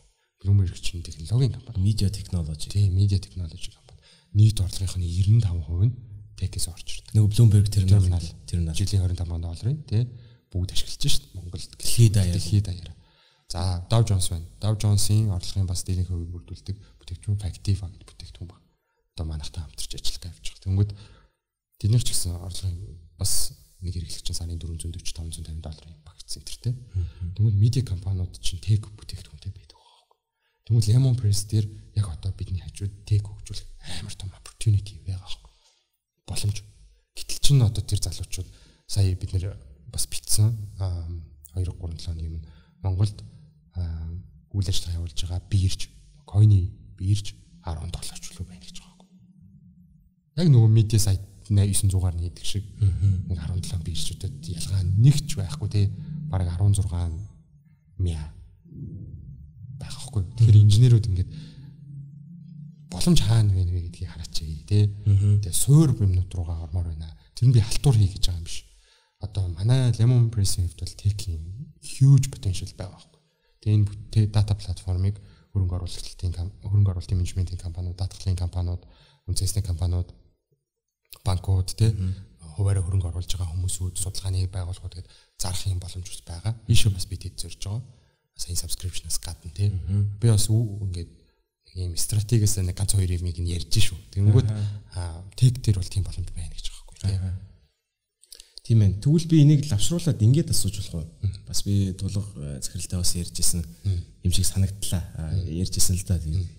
Тэгэнгүүт яг ингээд үзүр төр байдаг. Одоо нөө B2C гэдэг тэр зүйлийг хийхэд бол надад амар тийм хэцүү юм шиг санагдаад байгаа байхгүй юу? Гэхдээ энэ бол ерөөсөө би одоо одоо хүртэл би өөртөө ингээд хэлж чадахгүй зүгээр ингээд нэг асуулт надаа ингээд асуулт байгаа. Тэгээд магадгүй энэ төслийн зорилгон гэсэн тэр асуултыг хариултыг л хайх гэдэг. Тэгээд чи болохоор нэг олон нийттэй харьцдаг учраас би бас яг юу гэж боддгийг асууна. B2C гэж үүдэг те. Яг ингээд хүмүүс ингээд ашигладаг. Тэгэнгүүтээ би ингээд угаар нь бодоод үзэнгүү. За хамгийн Монголд хамгийн амжилттай B2C яг хүн болгоны гар дээр очсон зүйл юу бол одоо хоол хүнс авахгүй те талах чихэр сүү гэдэг юм те. Аав исэн байж исэн те. Тэнгүүд за цаашлангууд одоо KFC те юу ч үгүй те пиццад ч юм те. Франчайз байгаа байхгүй те франчайз. Аа тэнгүүтээ UB Cap ч юм те. Ингээ нэг юм ингээ нэрлээ баг болсож байгаа байхгүй юу ер нь бол өөр ингээд нэг юм гоё ингээд хүмүүсийн асуулт шийдсэн юм ингээл гараал фейлдэл гараал фейлдэл гэсэн юмсан. Тэнгүүд түрүүний ярьсан болохоор нөө суур асуудал нүдэнд хүмүүсийн нүдэнд харагддгүй. Яг бизнесүүдийн хоорондоо ингээд яваад идэв. B2B гэж нэрлэж болно. Тэгээ тэрлүүгөө орох нь баг арай дээр ч юм болоо гэж бодоод яг манай компани философч бас өөрөө тэрлэлтэй. Угаасаа хүмүүс нэг мэддэг үү B2C идэв юм чи мэддэггүй шүү дээ. Тэгдэг. Тэгээ энэ дэр чи яг юу гэж бодож байна? Чадах юм уу B2C гаргаж чадах юм уу? А B2C хийх нэг гоё юм нь бол энэ маш scalable тий. Сайн хийж байгаа юм бол. Одоо дэлхийн хамгийн том компаниуд чинь B2C шүү дээ. Тий. Тий. А B2B нь бол илүү одоо яг бидний нөхцөл байдалд бол одоо мон бидэнд те одоо жигүүр анх хоёр гэдэг хүнд бол илүү реалистик баг. Тэ. А B2C бүтээгдэхүүн гаргана гэдэг чинь өөрөө зөвхөн сайн инженер байхаас шал өөр ажил юм лээ те. Одоо сая хэлж чинь сүүлийн үед гарч ирж байгаа B2C бүтээгдэхүүнүүд айгүй тийм юу болцсон. Тэг гэхээсээ илүүтэй тэр нэг community нь бас амар чухал болчихж байгаа байхгүй тий. Одоо би сүүл ондоог бол ажиллаж байгаа байхгүй. Ондоогийнхан бид нэр 5G 5G гэвэл яа what тий тэгээд бусад дөрвөн ч гэсэн 5G хийн шүү дээ. Тэдний хувьд тэр нэг community mission ярьж ярьж байгаа ч амар зүг байхгүй тий. Аа одоо тэгээд ааш ингээд бид нар Монгол хүний ухаанаар Монголдо дэд бүтцээ өөрсдөө хөгжүүлнэ. Аа за хардверийг нь бол мэдээж импортлоод энд үгсэрнэ. Гэхдээ дээр нь байгаа тэр софтверийг бол өөрсдөө хөгжүүлнэ. Монгол хүний ухаан гэдэг байгаа тий. Яг тэрнтэй адилхан яагаад ер нь тэр бүтээгдэхүүнийг ашиглах ёстой юм бэ гэдгийг аюу сайн ойлгох хэрэгтэй байхгүй хэрэглэгч нарт. Аа манай инженерүүд бол тэрийг бодох хүмүүс биш байхгүй. Аа тэрийг нь product manager entrepreneur entrepreneur нь бодох хэрэгтэй байхгүй. Ер нь нэг альва стартап чинь гурван төрлийн хүн байгаад байгаа гэдэг подкастн дээр нь юу ярьж ирсэн хүн. Аа бүр базар ирсэн баха. Манаас юу. Hustler hacker юу лээ. Аа тэгж үл яриаг юм. Тэгж яриаг. Гурван төрлийн сонсч ирсэн тий Hustler hacker. Hustler hacker, hipster Анар шарк тэгж ирдэг баха. Оо зэ зэ. Аа Hustler hacker, hipster гурван хүн байх хэрэгтэй гэдэг шүү. Аа hacker нь бол бүтээгдэхүүнээ хөгжүүлнэ. Hustler нь бол зарна. Hipster нь тэр нэг базыг үсгдэг тий. Тэр ягаад юу тэр бүтээгдэхүүнийг ашиглах хэрэгтэй гэдгийг үсгэж явах хэрэгтэй юм байна. Тэгэхээр ямар ч B2C бүтээгдэхүүн хийсэн бэ? Яагаад юу би тэрийг ашиглах хэрэгтэй гэдгийг амар сайн ойлгох хэрэгтэй байхгүй. Тэр нь өөрөө контент болчихж байгаа байхгүй. Тэр нь өөрөө одоо Lemon Press-ээр мэдээд явах гол шалтгаан болж байгаа байхгүй. Тиймээс бол бид нэр ингээл одоо нэг 30 мянган хүний хоолоор өнөстой таны стартапын нэрийг ингээл хоногштлон олон удаа харуулах биш байхгүй. Таныг сторигоо хэлэх талбар чинь Lemon Press болох хэвээр. Тэгээ бизнесийн мэдээгээ хүргээч гэдэг ч юм байгаа байхгүй тий. Тэгэхээр нэр Lemon ч гэсэн бид нар B2C компаниудыг дэмжих зорилготой шүү дээ. Ер нь бол одоо тэр платформ гүүр нь болох тий. Ер нь чиний одоо итгэдэг одоо технологи гэдэг юм уу? Хүнд чинь нэг өөрөө нэг байс үүдэн шүү дээ тий. За би нэг ийм юмд бас ингээд дуртай даа гэдэг. Гэхдээ технологиуд одоо дараачийн 10 жил нэг ийм гараад ирчих байхаа. Гэхдээ мэдээж одоо тэрийг өөрөө хийхээр цаггүй эсвэл салбар нь биш ч гэдэм. Тэгэхээр технологийн салбартаа л ярьж байгаа шүү. Тэр ер нь юу юм бэ? Итгэдэг технологи. Хүмүүс ер нь юу гэж хариулт юм бэ? Мэдгүй би одоо ингэ анхудаа л зүгээр бодож байгаа л асууж чинь тий. IT-ийн биш хүнээс би одоо асуугаад шүү дээ. Ер нь background IT биш. Гэтэ би чамайг гэхдээ яг яагаад ингэж янзыг үзэж байгаа юм биш. Яагаад тэг би чамайг айгүй их юм уншдаг чи мэддэг байхгүй. Тэгэнгүүт гоё юм гарч ирнэ гэж найдаад байна. За гоё юм өгч чадах юм болоо да яана. Аа надаа нэг бодогдож байгаа юм нь бол одоо хүн гэдэг амтэн чинь цаг цаг цаг нь үнэтэй болж эхэлж байхгүй тий. Тэгэхээр түрүүний хэлдгээр тэр бүтээмжийг нэмэгдүүлдэг, experience өгдөг. Бүтээгдэхүүн чинь л одоо илүү тренд болох нь шүү дээ. Аа одоо мэдгүй одоо би бол миний төсөөллөөр бол ирээдүйд тэр хүний цагийг хиймээр байгаа зүйлд нь л зарцуулах боломжийг олгодог технологиуд хамгийн юм ашиглаж байгаа. Одоо за нэг нэг жишээ. Одоо Internet of Things гэж яриад байгаа. Би тэр буудангаасаа босоод хаалганы тэнд байгаа хаалганы тэнд очиод тэр юу гэлээ гэрлийн унтраалгыг дарж гэрлийн унтраал унтраах цагаа химнээд би охиноо хүүгээ өмсч юм байгаа байхгүй. Тэр чинь IoT-ийн хийх гэдэг асуудал шүү дээ тий. Тиймээс бол одоо шийдэх гэдэг kind of тий. Таны цагийг хэмнэе гэдэг ач юм байхгүй тий. Тэр тэр төрлийн бизнесүүд л айгуу одоо технологи бодол явахаар байхгүй тий. А итгэж байгаа гэвэл одоо надад бол бас нэг тийм тег хиймэр байгаа тег бүтээгдэхүүн бол байгаа.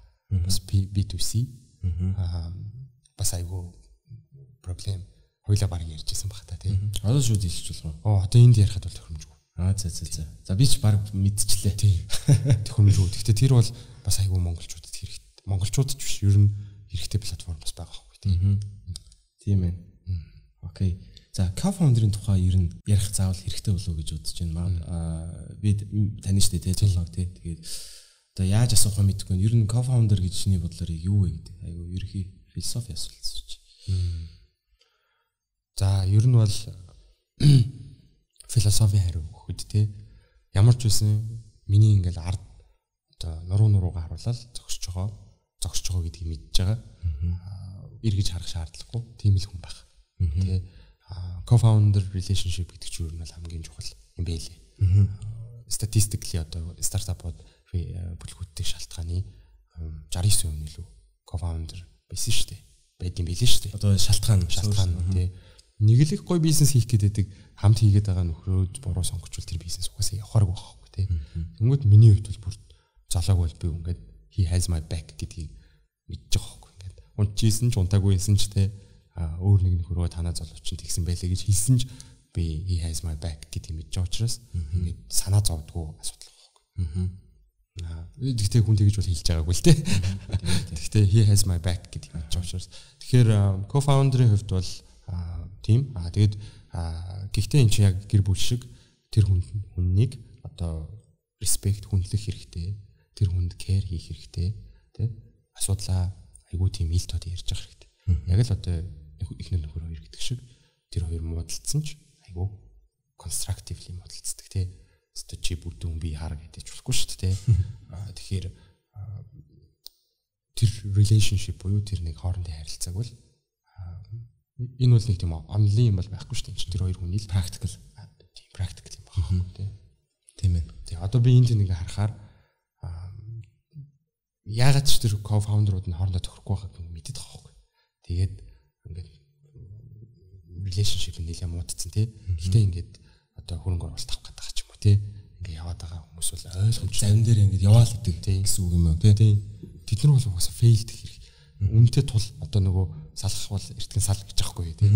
Тэгвэл тэрийг чиний анзаарсан зүгээр яг нэг иймэрхүү шинж чанартай зүгээр тийм одоо мэдрэмж мэдрэгцэн гэдгийг хэлж болох уу? Ер нь бол заахгүй шүү дээ тий. Аа хамгийн түрүүнд ажиглагддаг зүйл бол нөгөө хүний спотлайтд гарах дургу тий байдаг шүү дээ. Ер нь бол. Тэгэл өөрөө л ер нь гарч явах сонирхолтой тий. Аа нэгдүгээр шүү дээ. Аа хоёрдугаарт нь тэр хүнийг ер нь бол үл хөндлөх байдлаар ярьдаг ч юм уу тий. Тийм зүйл айл ажиглагдаг. Би тэгтээ бас нэг тийм энэ дээр эксперт бол биш ээ. Тэгэл аа угаасаа стартап нөгөө сайн одоо бас энийг үзэж байгаа технологийн хүмүүсүүдэд хэлэхэд Y Combinator-ийн founder нөгөө сайн Altman гэдэг хүн байгаа шүү дээ. Тэр залуугийн бичсэн startup playbook гэдэг нэг хуудас веб пэйж байгаа. Дотроо нэг дөрвөн хэсгээс бүрдсэн. Энийг маш сайн уншаарай гэж хэлмээр. Манайх хэдий технологийн стартап биш ч гэсэн стартаплахгүй тийм стартап яг тэр playbook-ээр л явж байгаа. Тэнгүүд энэ дээр санаа байна. баг байна. За тэгээд execution буюу гүйцэтгэл байна. За дөрөвдгийн би мартчих ямар ч байсан нэг юм дөрөв дөрвөн зүйлээс одоо consistency гэдэг юм уу? Consistency гэдэг. Consistency бол байгаа шүү execution доторч үлээ байгаа. Байх л хэвээр. Тэнгүүд ийм дөрвөн зүйлээс бүрдэж байгаа. Тэр дөрвийг л аягүй сайн онох чинь стартапыг фейлдгүй амжилтанд хүрэхийг гэсэн мэдэхгүй. Манайх ч амжилтанд хүрэхгүй байх өндөр магадaltaй шүү дээ юу. Тийм статистик тийм why not л үстэй тэр чинь тийм. Жилийн дараа адам хурцсан ч явж явах юм билүү. Which is fine. Би сайн ажиллах хэрэгтэй шүү. Бид нэр сайн ажиллах хэрэгтэй тийм.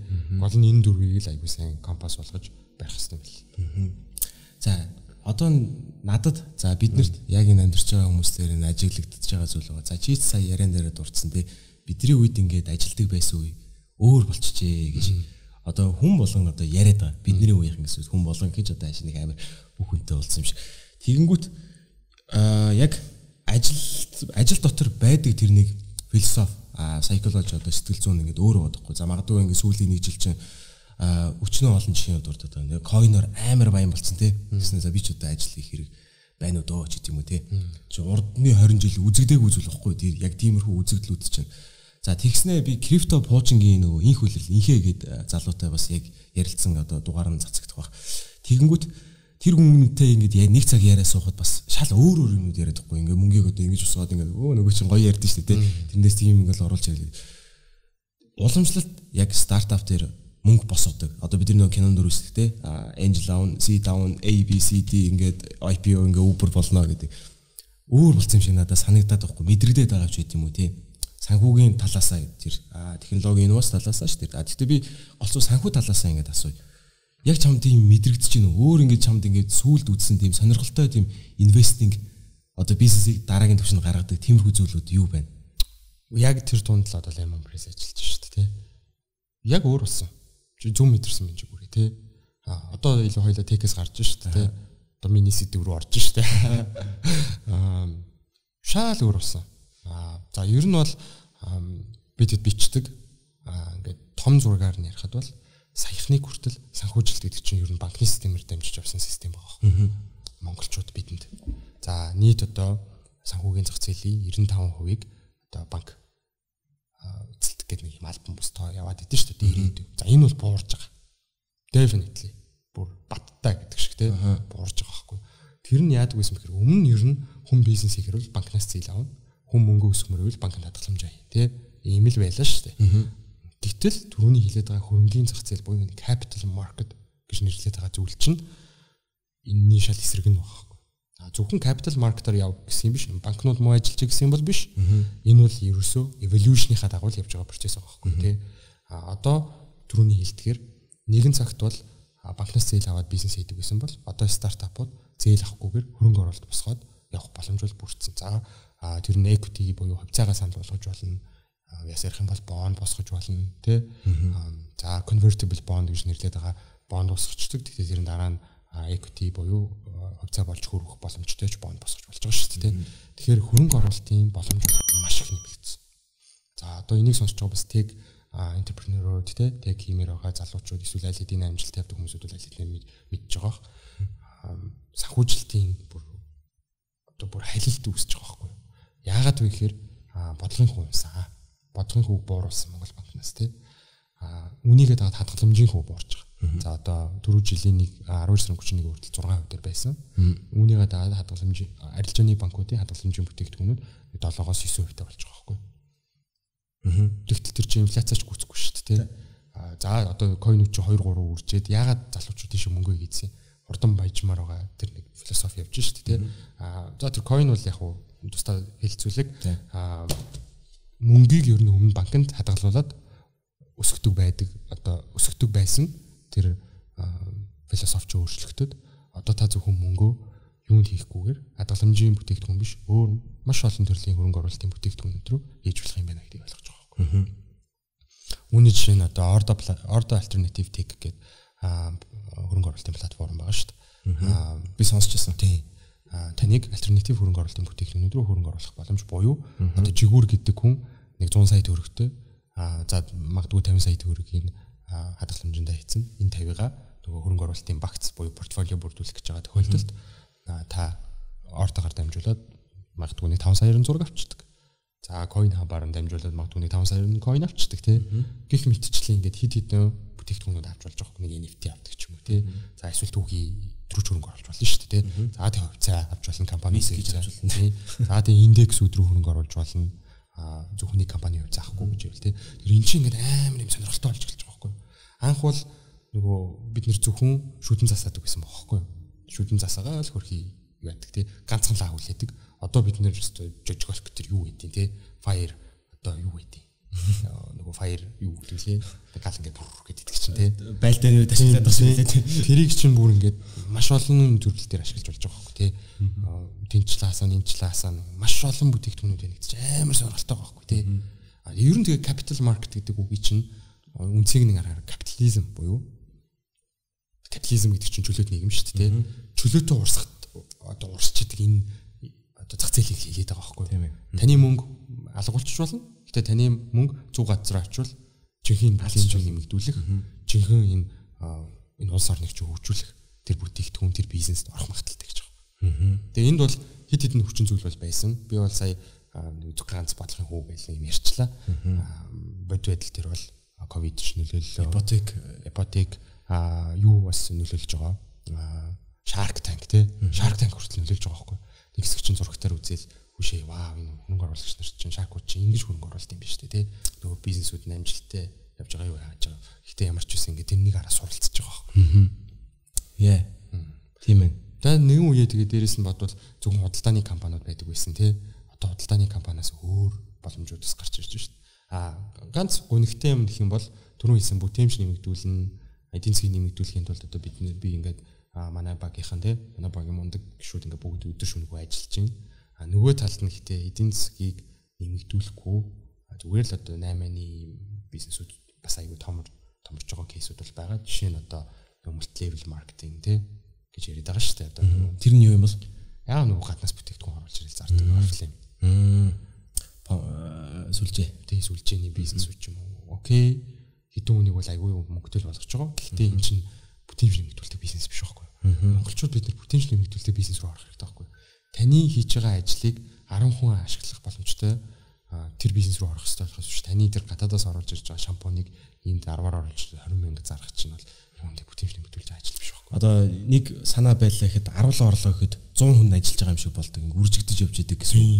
Яг зөв. Инженеэр бол тий. Аа энэ зардаг дээр бол 10 ороход орлого нь 10 дахин л ихсэн шүү дээ. 100 үржихгүй шүү дээ. Тийм шүү дээ. Энийг leverage гэж нэрлэдэг шүү. Одоо хөшүүрэг буюу одоо жигүүрээ танах эдүүнтэй тий.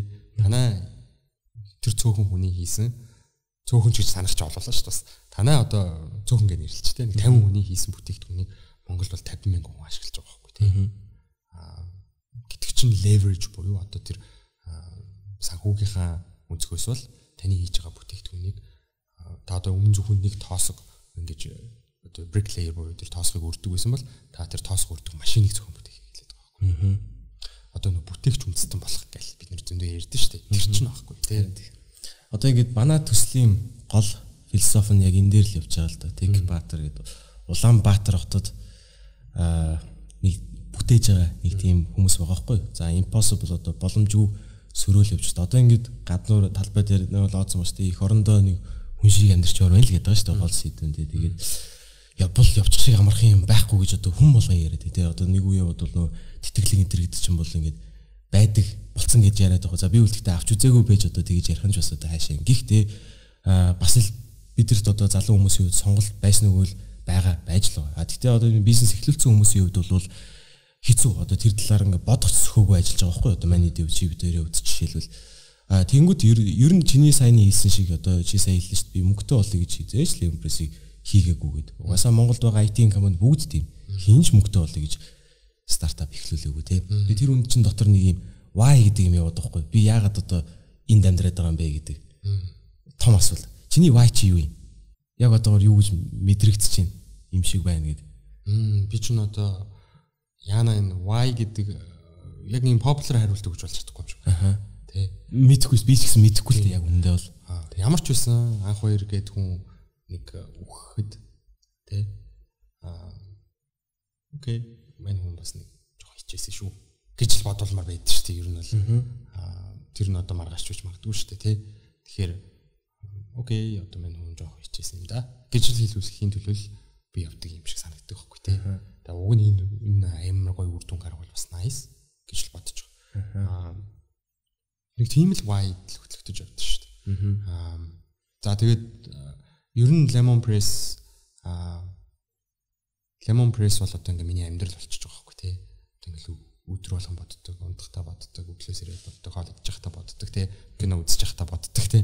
Нэг тийм юм болоод шүү дээ. Зөндөө олон тех хүмүүсүүд бас тэгж л амьдарч байгаа.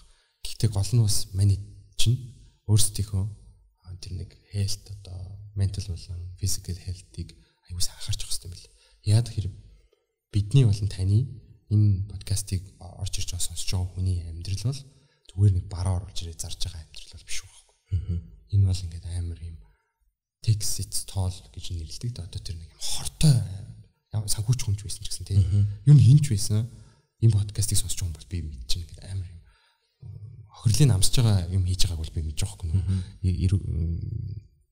ментал болон физикал те. Тэнгүүд бид хэд ч амар сайн тийм амарч явах хэрэгтэй бэл. Би би өөрс өөрсдийнхөө биеийг ингэж кэр хийдэг те. Тэнгүүд энийг барууныхаа амар сайн. Ялангуяа Америкт. Одоо ингээл том том фаундер нөгөө тех хүмүүсүүдийг харахаар бүгд фит. Тэ бүгд ингээд нэг ууланд гардаг. Тэ ягаад ч юм бестгал яриа явааддаг. Ретрит хийж байгаа. Тэгдэг те. Медитейшн гэл Тэрийг нэр үнэхээр хийх ёстой юм билээ. Тиймээс бол нөгөө шүн наригтаа тамхи татаад те ингээд явж бид нар тэр хүмүүст өрсөлдөхөр хүн бил. Тэр хүмүүс ч одоо гэртээ нөгөө саун маунтай те одоо юу гэдэг ингээд нэг юм брик амралтаараа нэг юм гадаад матад явж аялдаг те яг тийм байх хэрэгтэй билээ. Энэ even employee одоо тэр нэг альва нэг багийн гишүүн болоод явж байгаа хүн ч гэсэн тэр нэг health буюу тэр эрүүл мэндийн банк бодохгүй бол энэ дайм бол бид чинь зөвхөн хоорондоо хийж байгаагаас гадна тэр чинь энэ өрсөлдөөн тий. Гадны усуудтай ч гэсэн хийж өрсөлдөөн баг. Тэг салбар бол.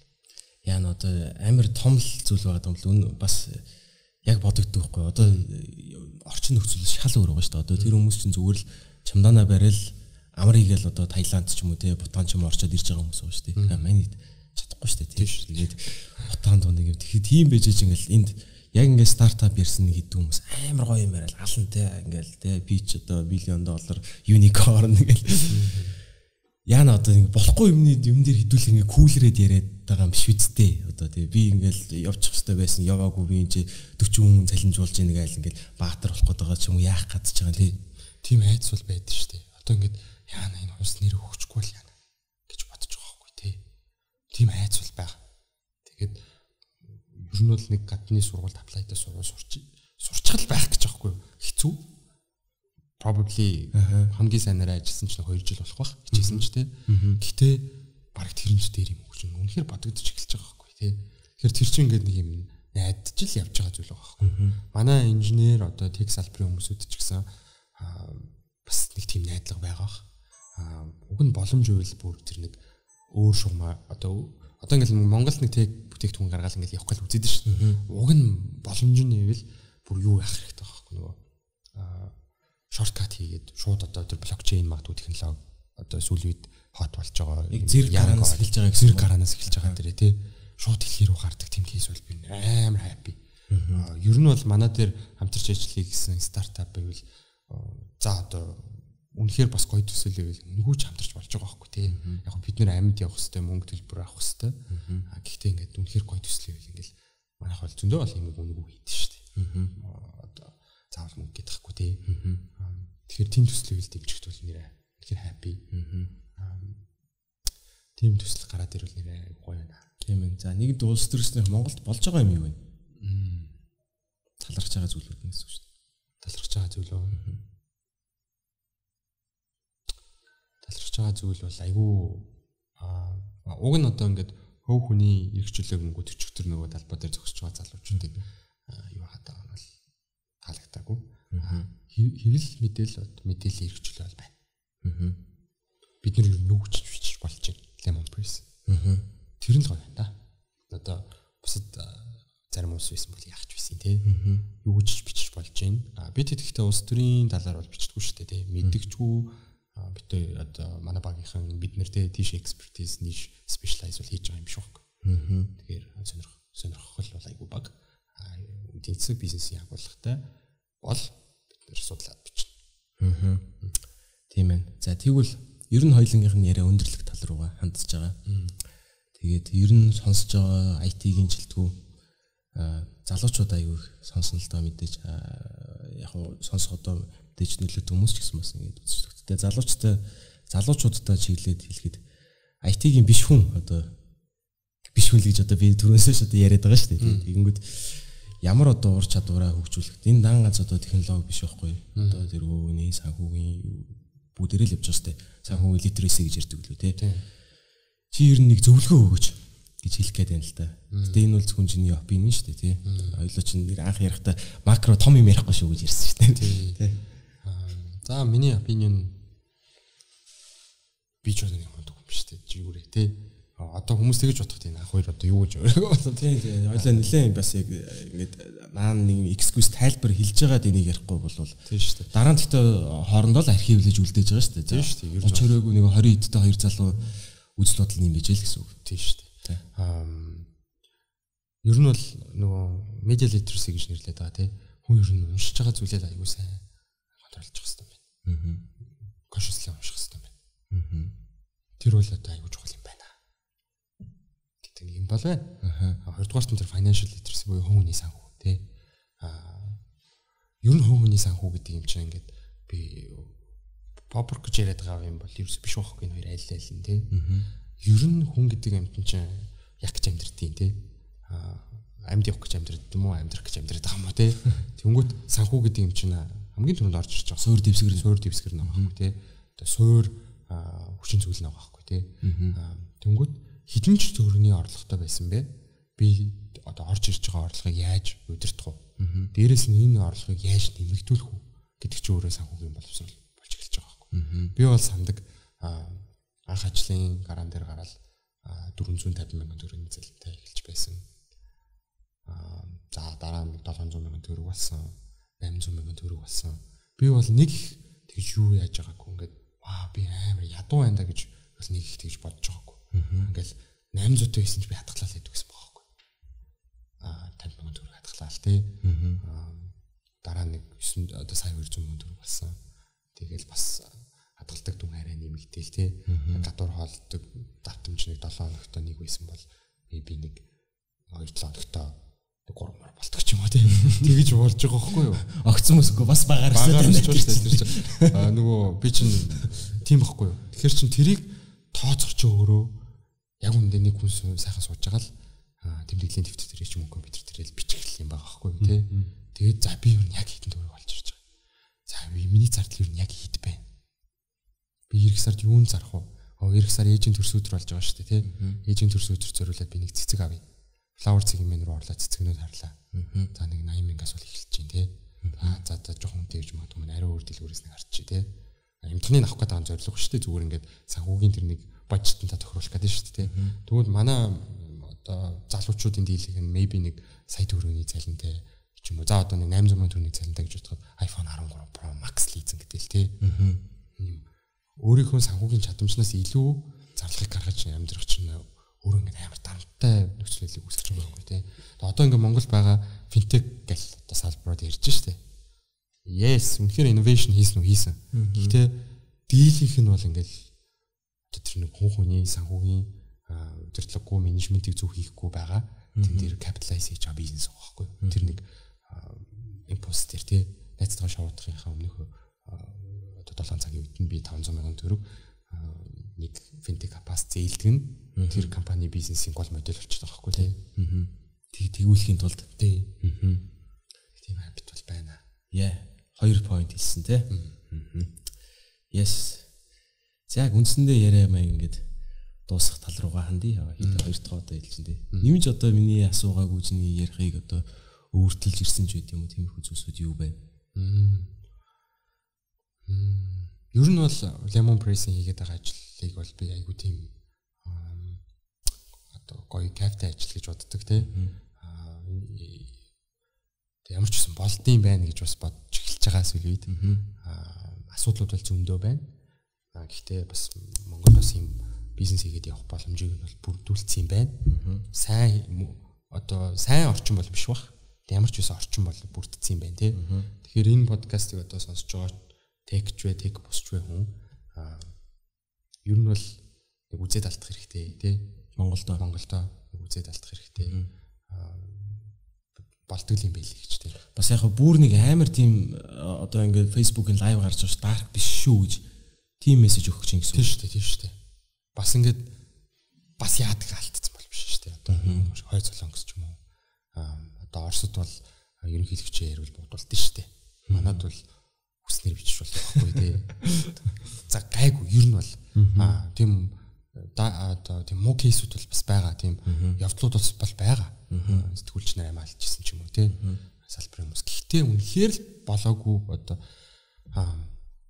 одоо бас боломж спейс нь бол байна гэж байгаа юм. Тийм үзэн ядуулаа л тэгэхээр нэг твиттерээр бичээд хүмүүс бас байдаг шүү дээ одоо хүртэл яваад байгаа тийм тэгэхээр чинь манай Монголд бас нэг тийм боломж бас байгаа байхгүй.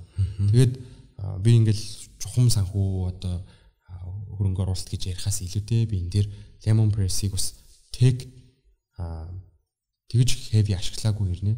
Тегийг бас одоо заавал нэг ап хөгжүүлэхгүйгээр альва бүтээгдэхүүнийг гаргаад явж байгаа явж болдог шүү гэдгийг бас хэлмээр байгаа байхгүй. Тийм тийм имэйл төгнөр шийдсэн.